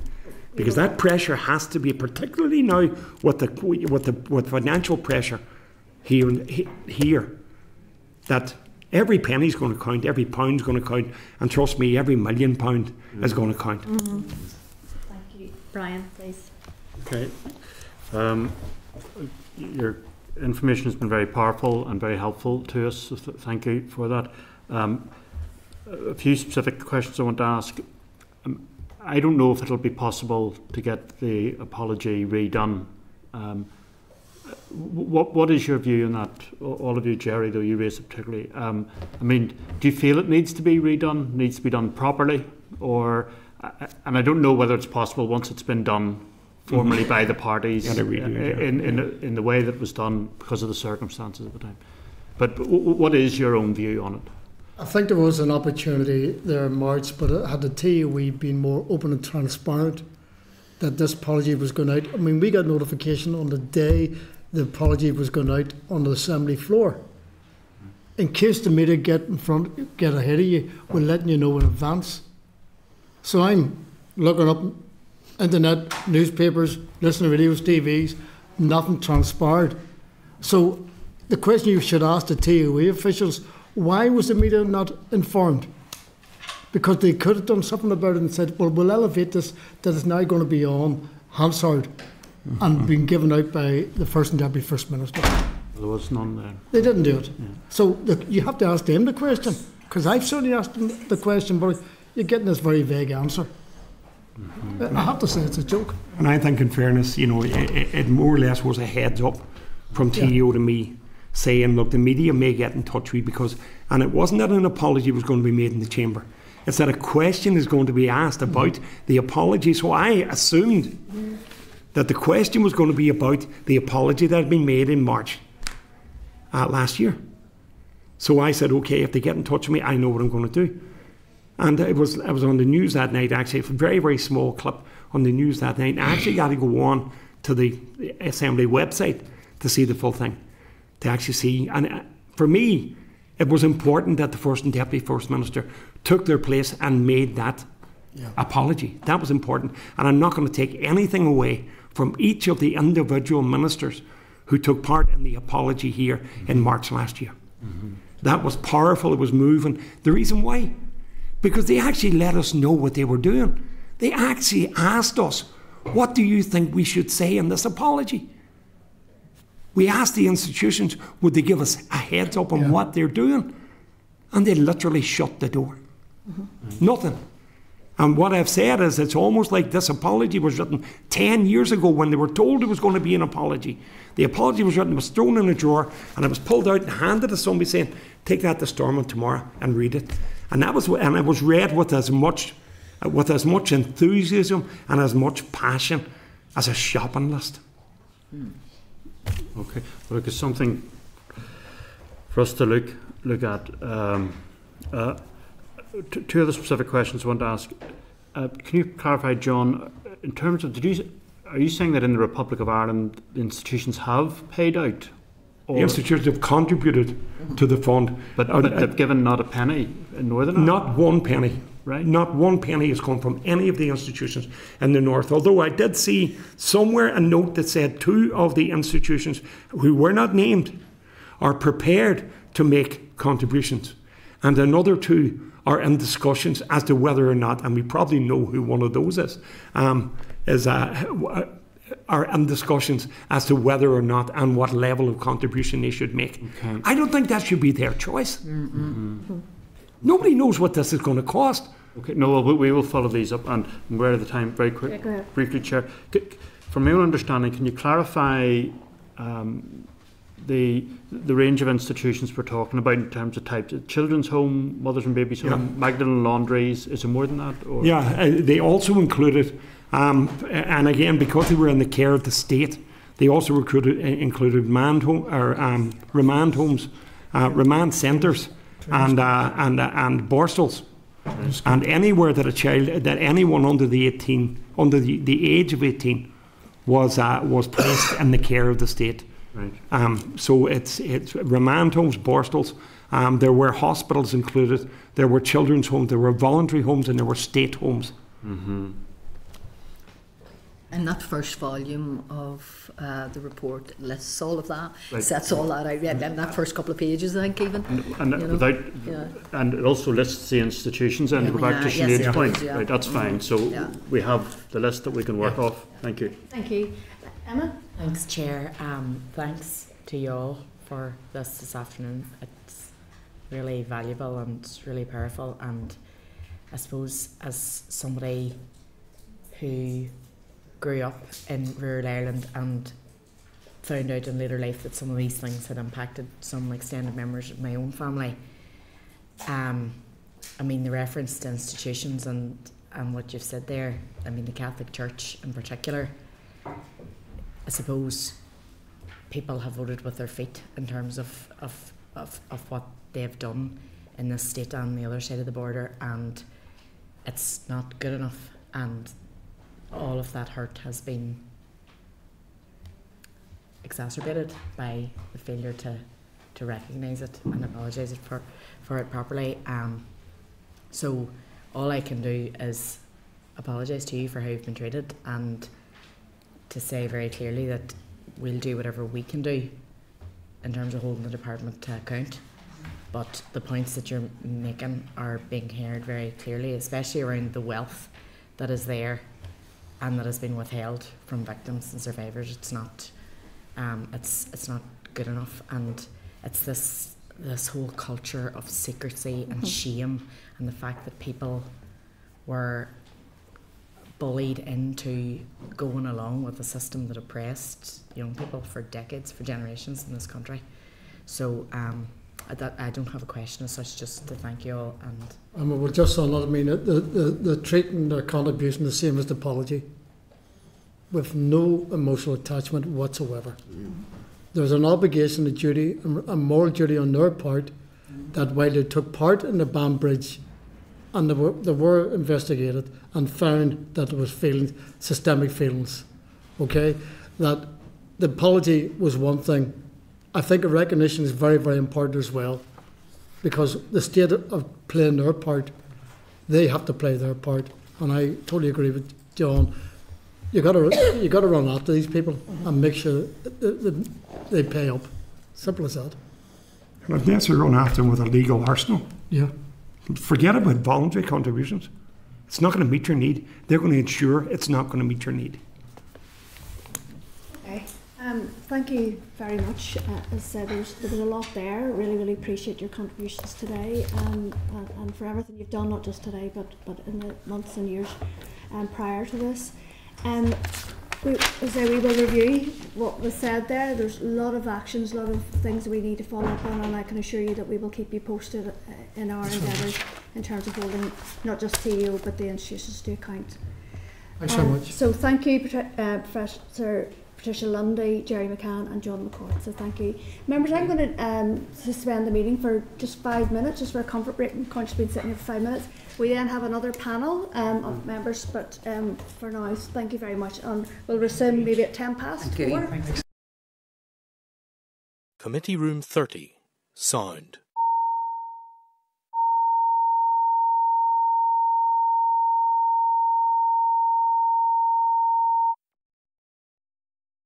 Committee Room 30. Sound.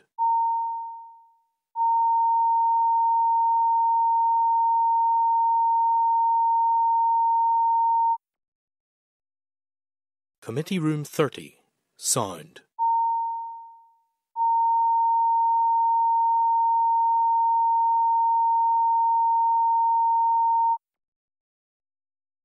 Committee Room 30. Sound.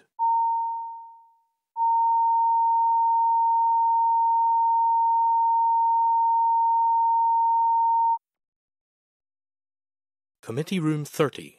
Sound.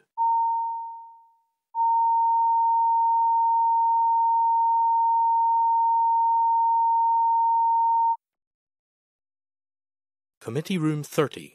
Sound.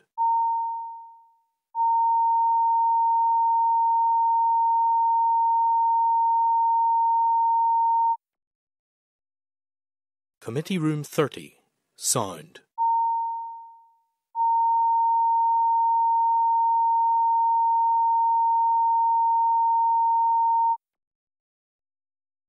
Committee Room 30.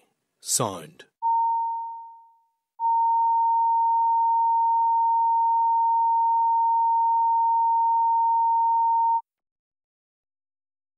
Committee Room 30. Sound.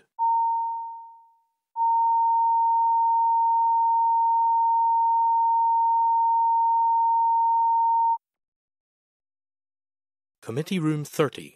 Sound.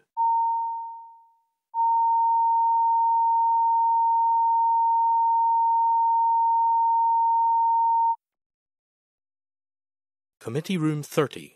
Sound.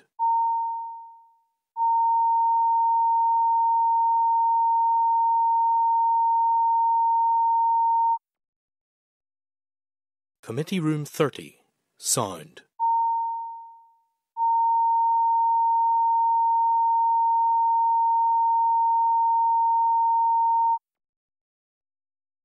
Committee Room 30. Sound.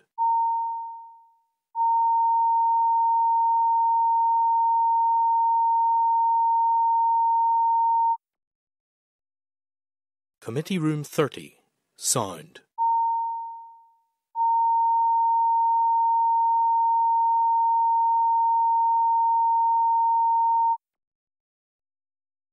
Committee Room 30. Sound.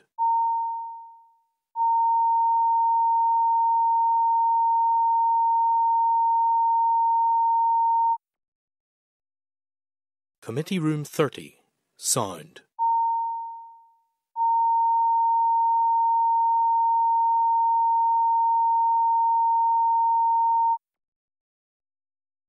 Committee Room 30. Sound.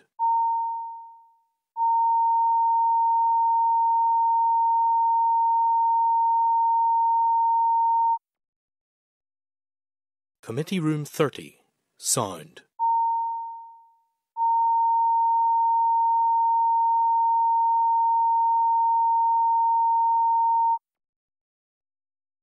Committee Room 30. Sound.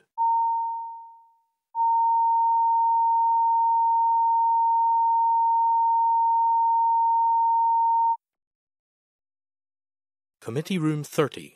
Sound.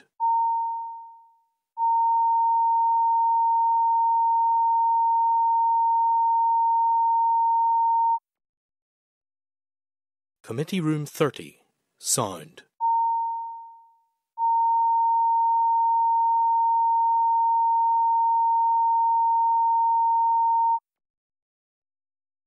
Committee Room 30. Sound.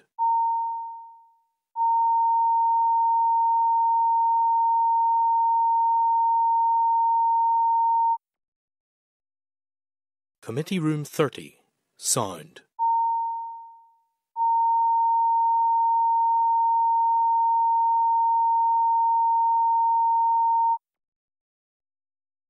Committee Room 30, Sound.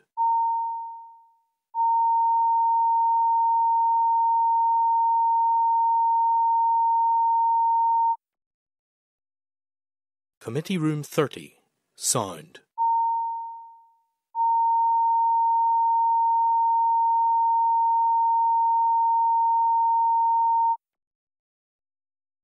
Committee Room 30, Sound.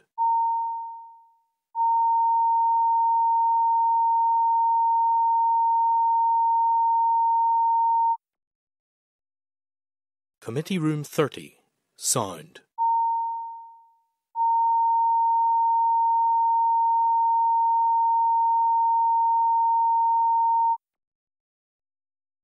Committee Room 30, Sound.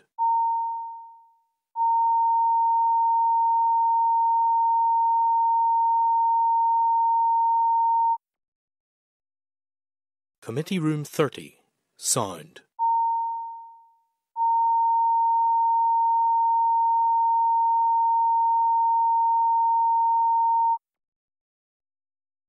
Committee Room 30, Sound.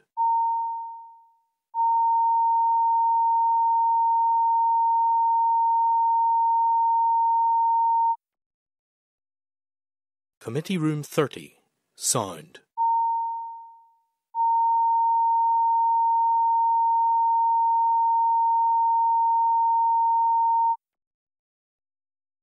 Committee Room 30, Sound.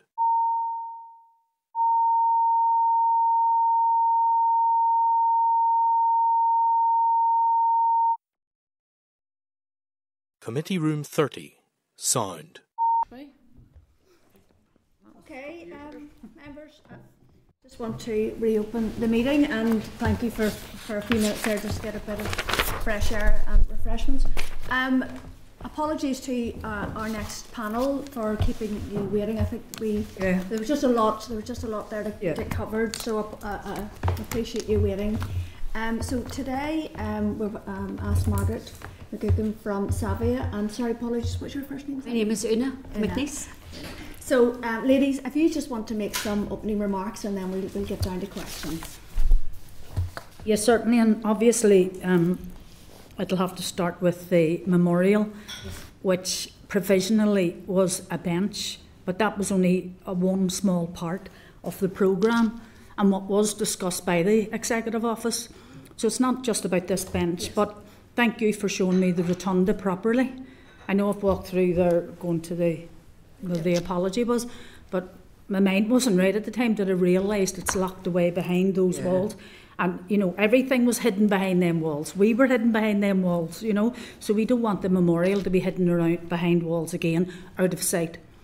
So it has to be in that main hall. And I've spoken to the TEO again yesterday about that. And they said about fixtures, um, you know, if there's anything going on in the big hall, like um, we can't move these. How, how can you not move? You know, this plate, this this bench can be uh, just fixed there and and stay put put in place there to stay there. You know, people if they're walking up or having a fence or whatever can they let them all see it. Students and tourists and dignitaries and from all around the, the world, let them see it. We don't want to be. We've been hidden and brushed things brushed un, under the carpet all our lives. You know, so we wanted it in the main hall. But as I was saying, there's other educational um, stuff that's been we've all talked about. The TEO have been round to the groups with these, and, and designs, and you you've been there too. You know that when we met in the Europe and that. Yeah, yeah. You know different programs, educational programs, going into universities and schools, even with social workers. I've met with um, VOYPIC, Voices of Young People in Care, and you know when I've spoke to them, and they need to know a lot, and, and it's only the like of us that they can learn that from.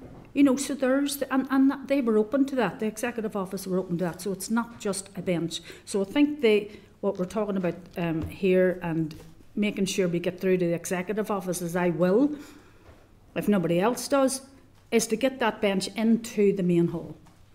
And regarding, oh God, where do you begin here? Um, yeah, the religious orders.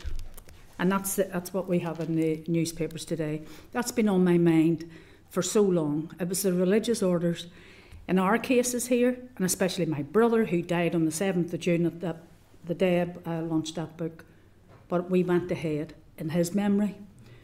You know, on the 7th of June, I go up and there's a headstone there, and every time I see it, he's, he's 7th of June, it's quite recent. He is in that in an early grave because of what the religious orders did to him from a four year old in the Nazareth Lodge and, and raped and abused her. And then by the De La Salle order, I can say, out, say it out loud because this is the truth. The De La Salle order in Rubane House, Kircubbin, notoriously renowned for their violent sexual abuse, you know, and he went through all that. And I had to find that out from him when he, he had seen me on the TV. And uh, I told him what was happening, and I didn't want to believe anything had happened to him.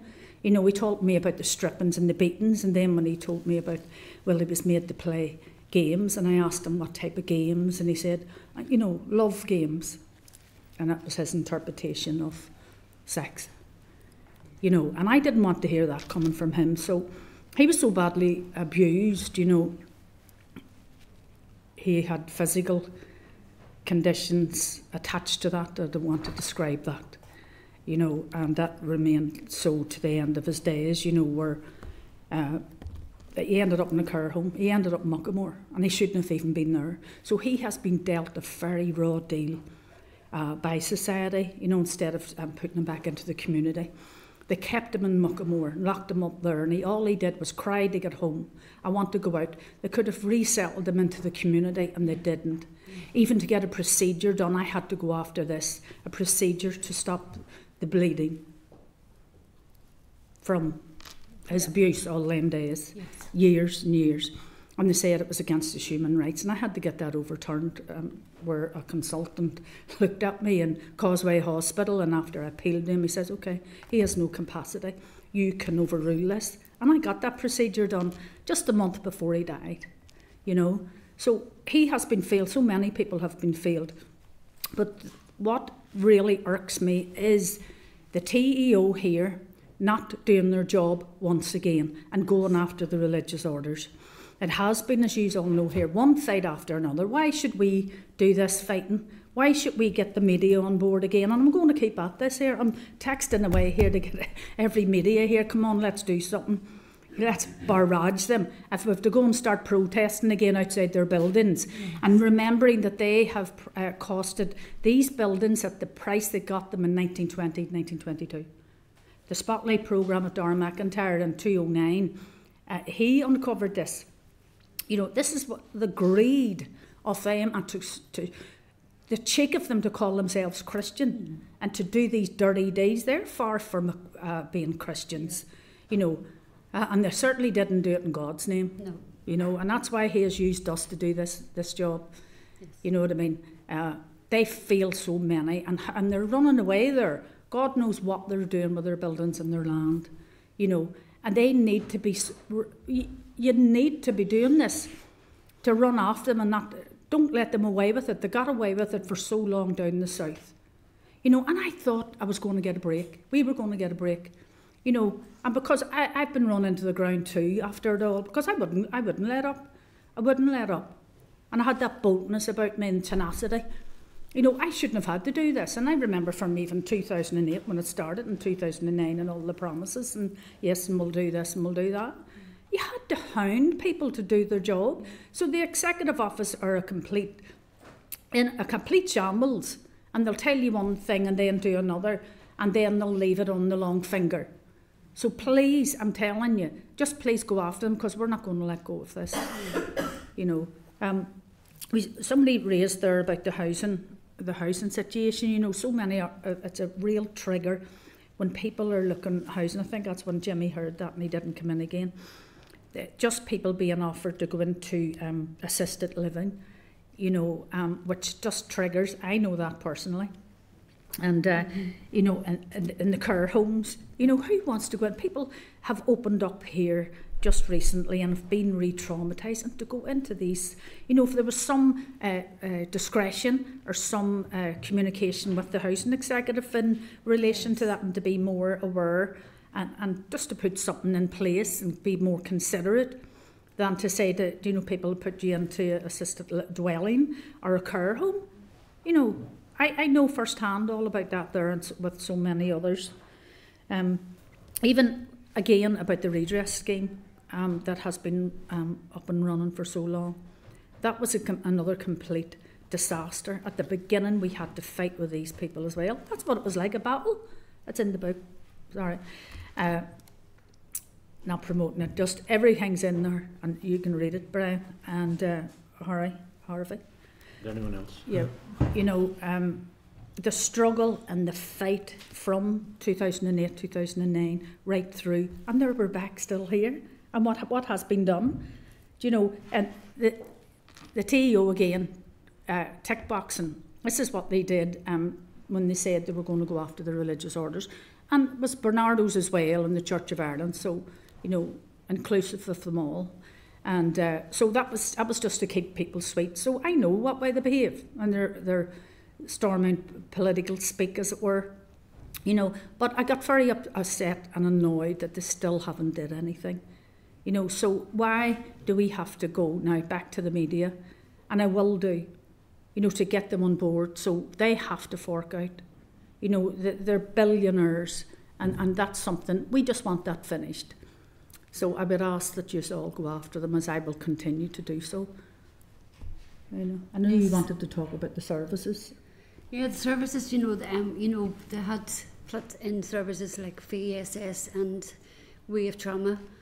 Good Um, mhm.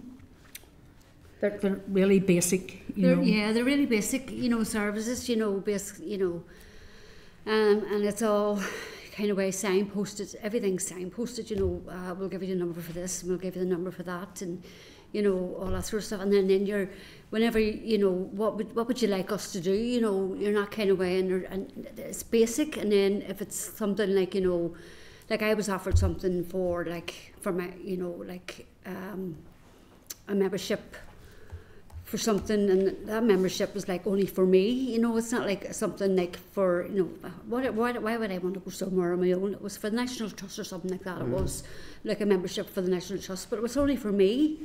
Like you know if you want to, why, would- why would I want to go somewhere on my own? Mm. You know I would like to take my like my granddaughter with me and my daughter with me you know?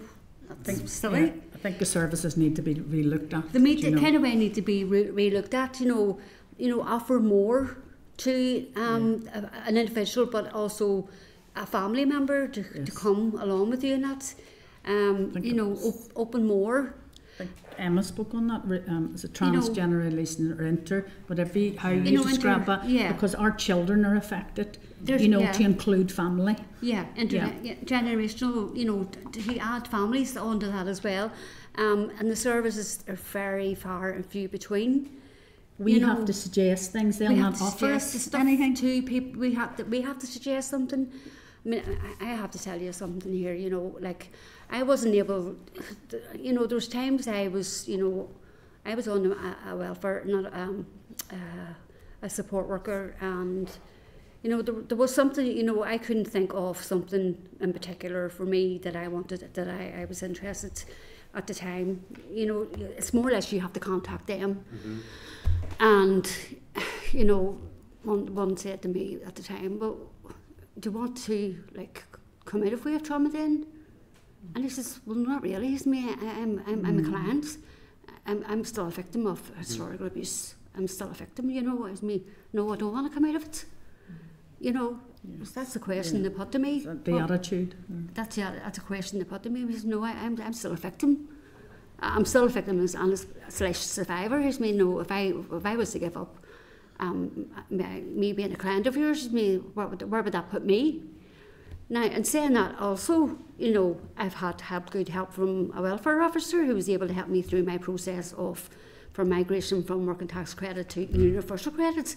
So I'm not, yeah. I'm still not, you know, there is good people in there as well, but there is, you know, there needs to be a balance between wave trauma and VSS because VSS are the same. You know, I had a problem with um, my redress from, from me, from me turning from migration from universal credit to, or from working tax credit to universal credit in regards to my redress. You know, That affected your award.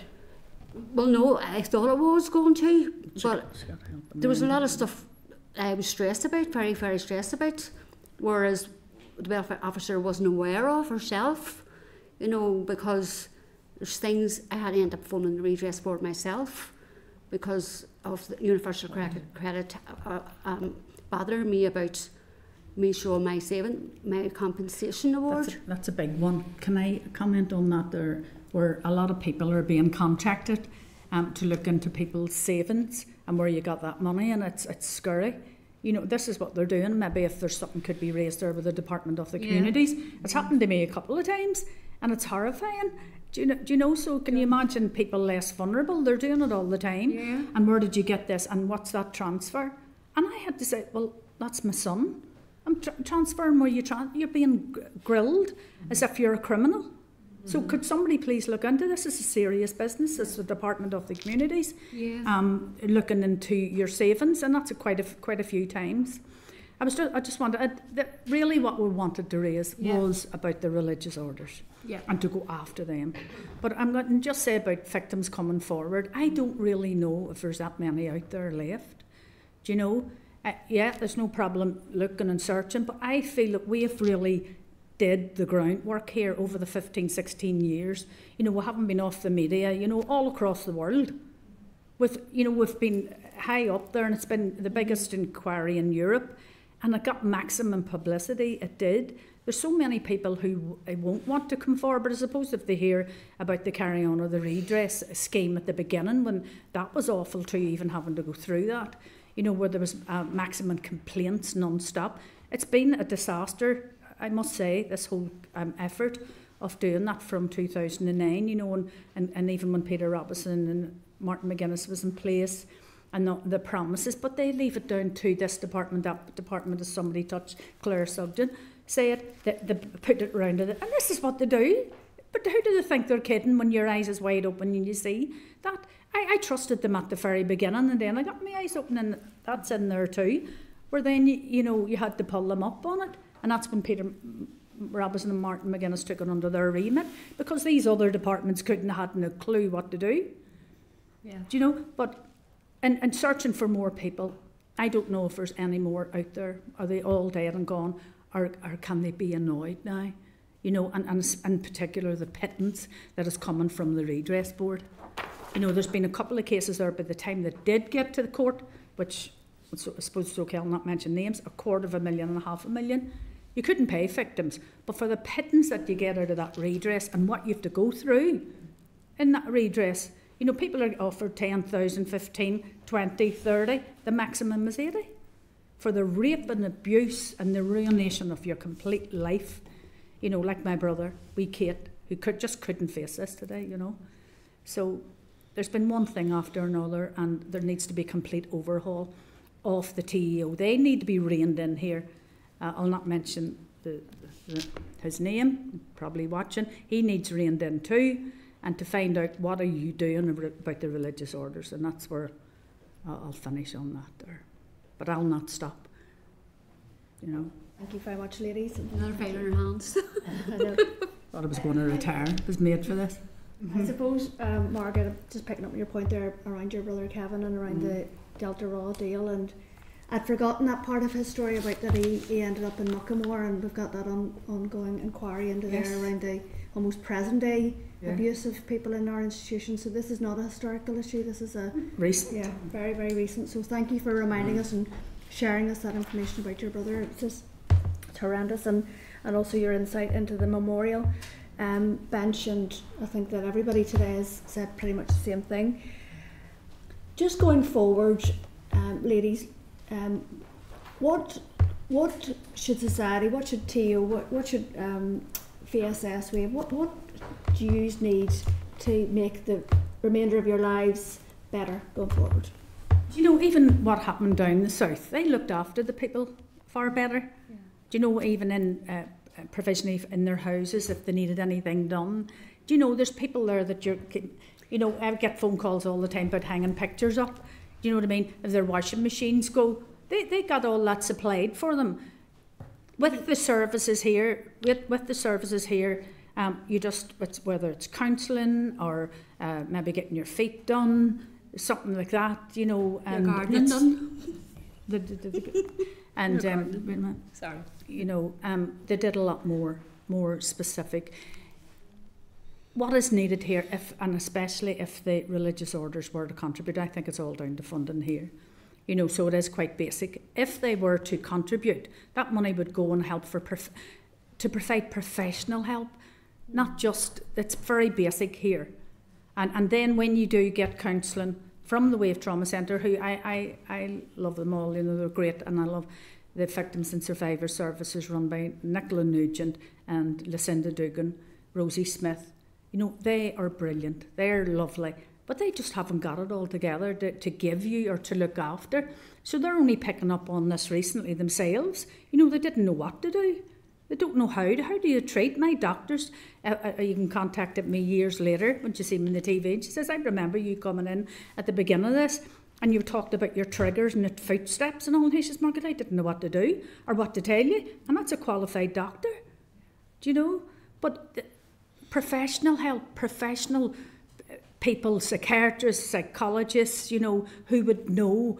But the people, uh, they haven't, they really don't know. They're, they're not um, professional, um, they're not really educated into knowing. Maybe they do need to do a lot of research instead of um, us having to ask them what to do. But just one last thing about the counselling. You know, why should people, when, when they're really ready to go down under, to be asked all these about 38 questions before you get to talk about? I know it firsthand because um, I haven't been too well myself, and this is what 38 questions. Part of the counselling, so we're talking Yeah. earlier at the start of the And this is like uh, a questionnaire that you have to go through, which will be used for to uh, gain funding in the future. Yeah. People are ready, and it happened to a sister, my sister, and she went just with her doctor, but and that was a big deal for her to go through uh, to to counselling. She says some young girl asked me all these questions. I'd have loved her to receive that. You know, she needed it. But she she went away, and that's it. You know, she's my older sister, and she would never go back again because you're looking for somebody to talk to, crying your eyes out, mm-hmm. just somebody to comfort you and say it's going to be all right. To be asked about all these questions, mm-hmm. why can't they leave that now to midway? Just put it midway or something. Could somebody something be done about that to change that? You know. Looking Okay, Connie, please. Yeah, thank you both so much for coming in um, and sharing your experience and how it's impacted you. It's it's really important, and I, I know I know it mustn't be easy at times. So, I think I just kind of wanted to tease a bit more of that out, and it does. I am getting the impression from this that, and others in the committee have talked about this as well, that there just isn't that. You know, people aren't trained. There isn't that trauma-informed approach, and Care Yeah. and Fairness has has recognised that. Um, not just within TEO services, but throughout healthcare settings, and as you said, Department for Communities. And did you find the actual application process for the redress board and having to, um, you know, provide information to that? Did that almost re-traumatise you and others that you know in a way? Absolutely. Yeah. You know, from everybody, you know, and it was that time that we were sheltering, you know, and I had the, the messenger page, page up and the Facebook page up, and I was getting this non-stop. You know that? Yes. You know what I mean? So it was a, is- it was like me being the commissioner or whatever, unpaid. Yeah. And you still get it, and I'm still being contacted. Yeah. But what I do is just pass them over to the um, the serv- uh, Nicola Nugent and Lucinda Dugan. So that's what it is. It's a, a signposting thing, you know. But we had to look after them. We were left to look after everybody there when things went wrong, even with solicitors or whatever, and in- in particular the redress board. You'd need to even had to even find my own contacts in there who would maybe allow to talk to. You weren't allowed. There was this data stuff, and you know that you weren't allowed to speak to anybody, you know what I mean? And it was like, God almighty, it was awful, the authoritarian um, issue, uh, you know, aspect all over again, looking down on you. It was awful. It was horrendous going through that. Um, I wouldn't want, I think everybody's been damaged, more damaged from going through this again. Yeah. And that, Yeah. I think that that's obviously what we don't want. And I think we need to really recognise the role that people such as yourselves, you know, sharing their own stories Mm-hmm. and putting themselves out there to help others and connect others and really do that from the Yeah. ground up has been the driving force behind this. And you shouldn't have had to do that. So I think that's really important. And also, I- I'd say I think we're all very much agreed here that the way the um, religious orders um, have refused to really come forward with compensation um, has just been completely unacceptable um, as well. It's not just from a financial perspective, but it's No. important, as you said, but it is to recognise what they did was wrong as well. Yeah, and held be, they have to be held accountable. Mhm. You know, acknowledge that they done wrong. No, absolutely. Thank you. Claire, please. Uh, Thank you, Chair. Um, like, thanks for coming in. Um, and I think it's clear from your presentation and the other presentations we've had today that we really, as a committee, have to push the executive office to do their role in trying to get answers and to get these payments made as soon as possible. So, Chair, if this is appropriate, you know, can we make a proposal that we have the officials in front of us, and you know, in the very near future, and, and I that myself. We need to call them yeah, back. provide that scrutiny, and um, maybe it's the, the, the first and deputy as well. I'm not sure, but What about the religious orders? Could we get them in? Oh, well, I'll, I'll maybe Invite them. yeah, maybe take advice on that one. But but certainly from from a governance and from a public perspective, the executive office very much have the responsibility. there. scrutinised. So you know, as a committee, I you know make that proposal that we scrutinise them. Yeah. Yeah, Yeah, we'll, we'll, we'll invite them. brilliant. Thanks.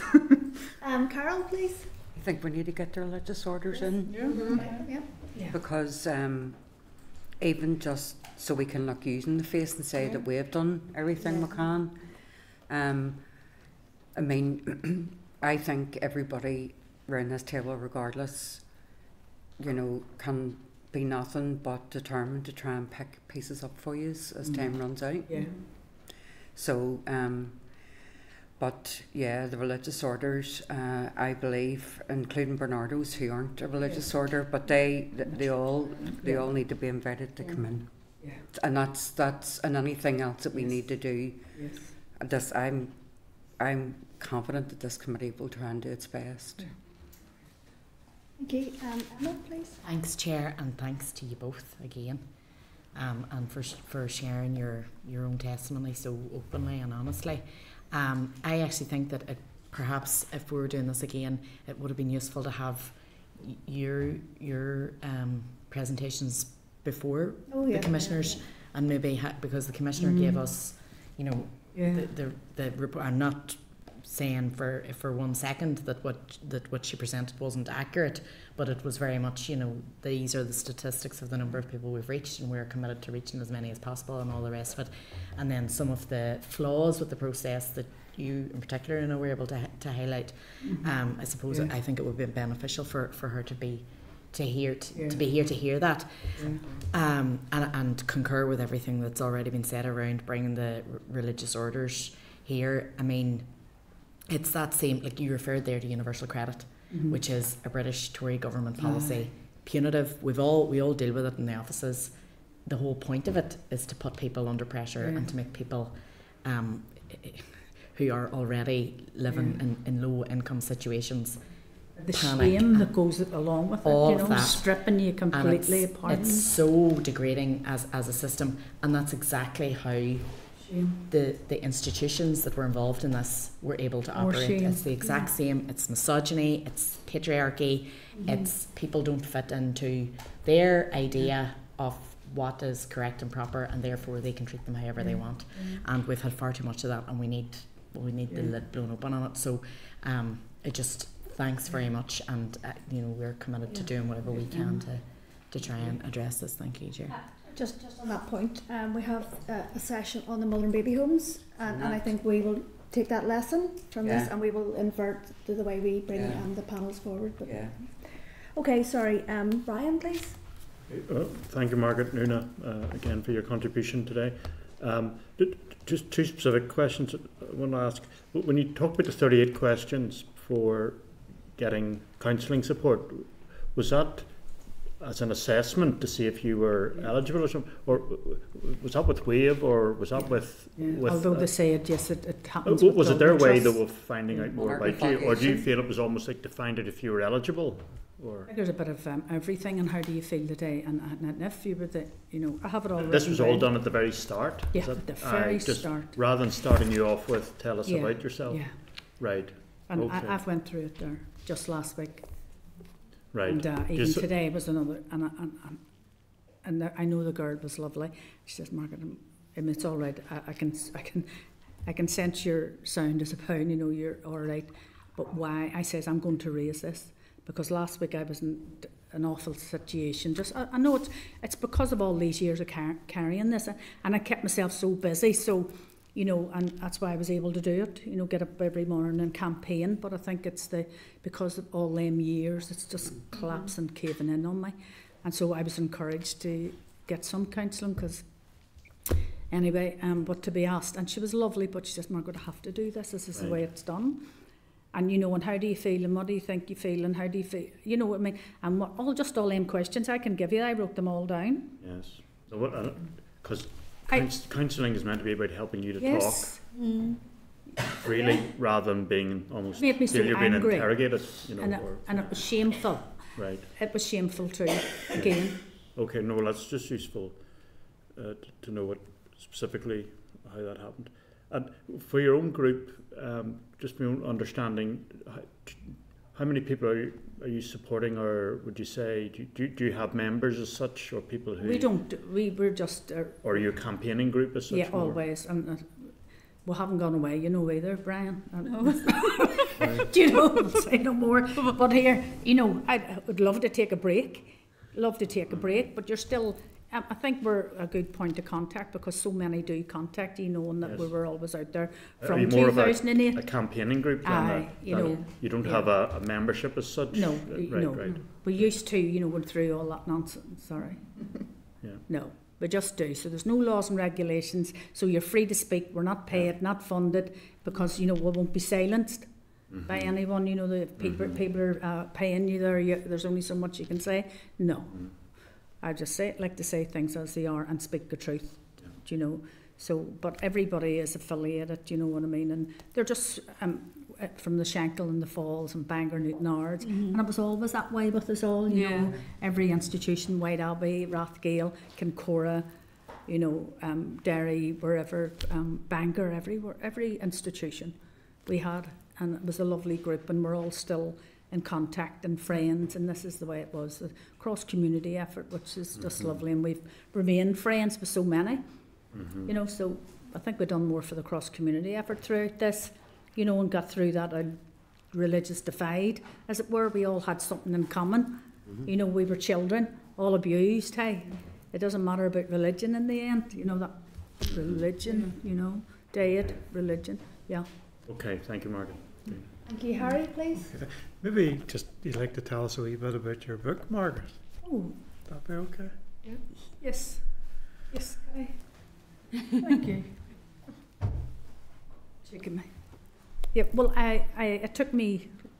Well, I, I had to. I think that's why I needed to talk to a counsellor then, or someone. Um, I did go to someone before, and they had three little clocks sitting. Clocks. Yes where I think anybody should know you shouldn't have clocks. You know, somebody looking at their watch to see what time it is. Oh, no. You know, but I think after sort of um, pouring it out from, from my, my childhood memories, you know, and the happy times that I had with my mother and father and my siblings, I'm the youngest. And um, and then being left to that, there's that's me as a three and a half year old with a raggy dress. And you know, and they got so much money off the people where there's money boxes, collections everywhere in every community, you know, but it was never given to us, you know. Mm-hmm. That money went to their um, uh, to the mother house in uh, Hammersmith, London. That's the main uh, Nazareth. Uh, poor, they call themselves the poor sisters of Nazareth, and they're anything but. But the brutality went on there, you know, as that child, and what the damage that was done in there when I got out of it at 11 you know, where I, I was just so filled with that shame. There's that shame, it never leaves you, you know, especially in the way people talk to you in that authoritarian tone. You know, stays with you, triggers stay with you, you know, voices and everything. So I write all about that, you know, and about, you know, not trusting anybody and just feeling you're the loneliest person in the world, you're unwanted, you know. And, and I and I write that, it's raw. And that's the way I felt, and then fitting in with um, undesirables getting into trouble, you know, just with a, a gang, you know, and, and getting mixed up with um, the police, just, just silly things, you know, I went through. But I was only to fit in, you know, because I didn't know where else I fitted. Mm-hmm. I just felt an outlaw, as it were. Um, I wasn't a part of society, so they made you feel that way, you know, and, and, and it still remains. You know, and that's why I like to keep busy to try and get them memories. Them memories will never go away for many of us. It doesn't matter who we talk to, you know. But I read about that, and then it came to such a time then that I, I was in prison and all, you know, um, you know, shoplifting, silly things. It was just your way of dealing with yeah, it. Yeah, and I, I, I didn't know. I had nobody because our families were all split up then because we were split up in, inside the institutions. Mm-hmm. So I had no, I had no one, you know. But I used to pretend that it was all right, and you know, and whatever, and you know, because underneath the lipstick and your garb on you, you know, there- there's remains that the damage that these religious orders in particular did to us. It'll always remain. And then, you know, I went through it that much. I used to get barred out of every bar, but I didn't know there was, was it because it was the alcohol maybe sedated me a little and whatever calmed me down. But then this would come up, whatever was wrong with me, and I didn't know what was wrong with me until I did. And I, I'm not ashamed, and I cried out to God in the prison cell, asking what was wrong with me. Uh, you know, and He told me. I know He told me. Personal thing. Yes, and I began to just break away from whomever, and and that's when I found out then what was wrong with me was because of being in there. It wasn't my fault. You know, it wasn't my fault. It was their fault. You know, because I thought they were the next thing to God. Do you know? Mm-hmm. and we all know that. And that, that it's in it's in there. It is everything detail about myself you know, and that's what gave me the wherewithal, I believe, and that motivation that was given to me to do this fight and to, to see it through. And that's why we've got this other segment to not allow these religious, so called religious orders away with it. You know, we can't allow them to get away with this and hope they're watching. Um, you know, thank you. Thank you, Chair. That was a great last question, Harry, uh, and thank you for being so honest and open. Thank Oh, sorry, Sinead, sorry. It- One more just- last one, small last not- question, It's not really, uh, it's about memorial again, but one of the things that I've just observed lif- listening to everybody here is about the personal stories. And, um, and when you, you think of the memorial, it, it's about, as uh, Patricia said earlier on, um, about the hidden histories. And we can't afford as a society to lose those hidden histories. What do you think about, um, you know, the victims being given an opportunity to give an oral um, history that we as a society can hold on to as part of the memorial. You know, I know um, in, um, in, in Foyle there's an organisation, Holywell Trust, that does oral histories over the Troubles and brings Yeah. together individuals that were traumatised or something horrendous happened to them from all across society and brings together their oral histories and, and, and, um, you know you had the opportunity and the wherewithal um, to actually write your story down but there's others that may not have had that capacity and that would be a significant um, you know, part of, of a memorial going on. Um, if, if, if other victims would be up to telling their story to, to, to, to the rest of us. It can't be brushed under the carpet just like they're trying to put that in the Yeah. rotunda. Sorry, Then I have had, um, you know, um, occasions where where uh, victims have had really terrible housing issues. Um, at they're at a certain age in their life now, and we are working with them, and you're working with the housing executive, and you're trying to get this point system yes. in place, and you're looking for points here, points there, in order to make sure that they get top of the list for the allocation of houses.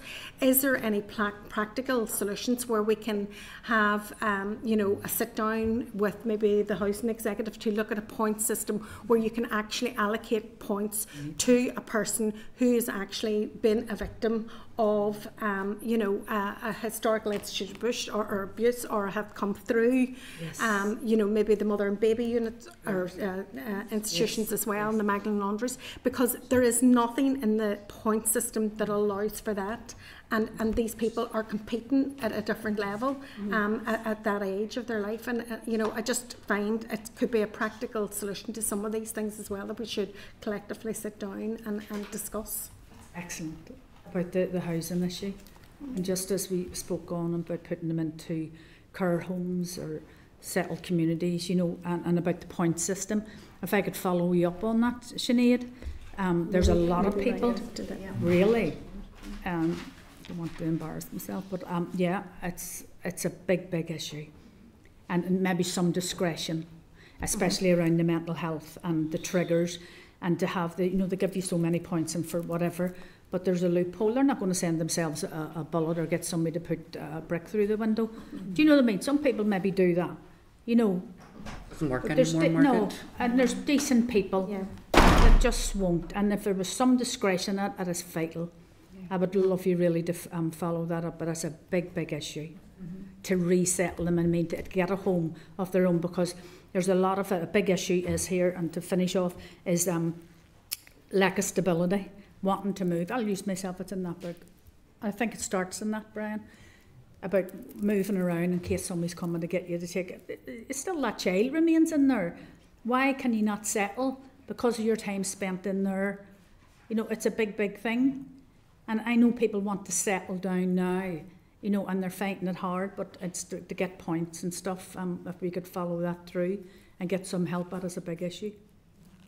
With the housing executive, that'd be great. Thank you. Sorry, Sinead, I, I missed you there in the That's questions. okay, But, but thank, thanks to everyone and certainly our, our, our panellists today. And it was lovely, lovely to meet you. I think it's the first time I met you and certainly mm-hmm. Margaret that they were both powerful contributions. So say there's a lot there today and we, we give mm-hmm. you our word that we will follow up on, on the actions that you've put forward. So thank and you let for us know when the TEO are here and We the will. religious orders. That'll, have that'll a be our front row first invite. That'll be our first invite. So thank you very much. Thank you all. Thank These you, are great. Margaret. Thank Members, you. See you all soon. Thank you. Um, members, I'm very conscious of time. There were quite a number of. We know what you think about There, there was quite a lot of correspondence and there was some Yeah. actions. Everybody has. If you're, if you're in agreement, I'm actually going to ask the clerk to email out then so we can sign off on things by Yeah. email if that's okay. Okay. So I'd appreciate fine. you to respond. But um, ju- just just one point to note: um, the forward work programme has changed a bit. We're moving the mother and baby homes from the 1st of May to the 29th of May to incorporate an anticipated publication of the interim report of the independent panel. Okay. And we're moving the ending violence against women and girls from the 15th of May to accommodate that request. I think they're coming on the 8th of May, so these issues are, are coming before us quite quickly. But members, I think I'll close the meeting there and, and Yeah. thank you all for. Sorry. I just, just want to raise one point. Um, Sorry, apologies. Go ahead. S- Sorry, j- just under correspondence, th- there's a letter there about common frameworks. Yes. And it- it's listed as EU common frameworks, and the letter's titled EU common frameworks. But my understanding, the common frameworks is a UK thing. It's to ensure It is. that the UK internal market works within, Exactly. you know, so it's not actually EU fr- common frameworks. It should be, uh, it's a UK thing. The clerk's just advised me it's a, it's a, a- an error within Yeah. the within the committee team. Absolutely, one of the one of the actions relates to that. So um, we'll make sure that the correspondence going out to you via email. We'll have that. sorted. Yeah, okay. Thank you. Okay, so so thank you, Brian, for that, and thank you, members, um, and we'll see you all next week. Thank you. Okay, thank you. Thank you.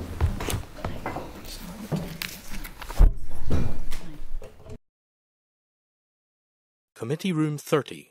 Sound.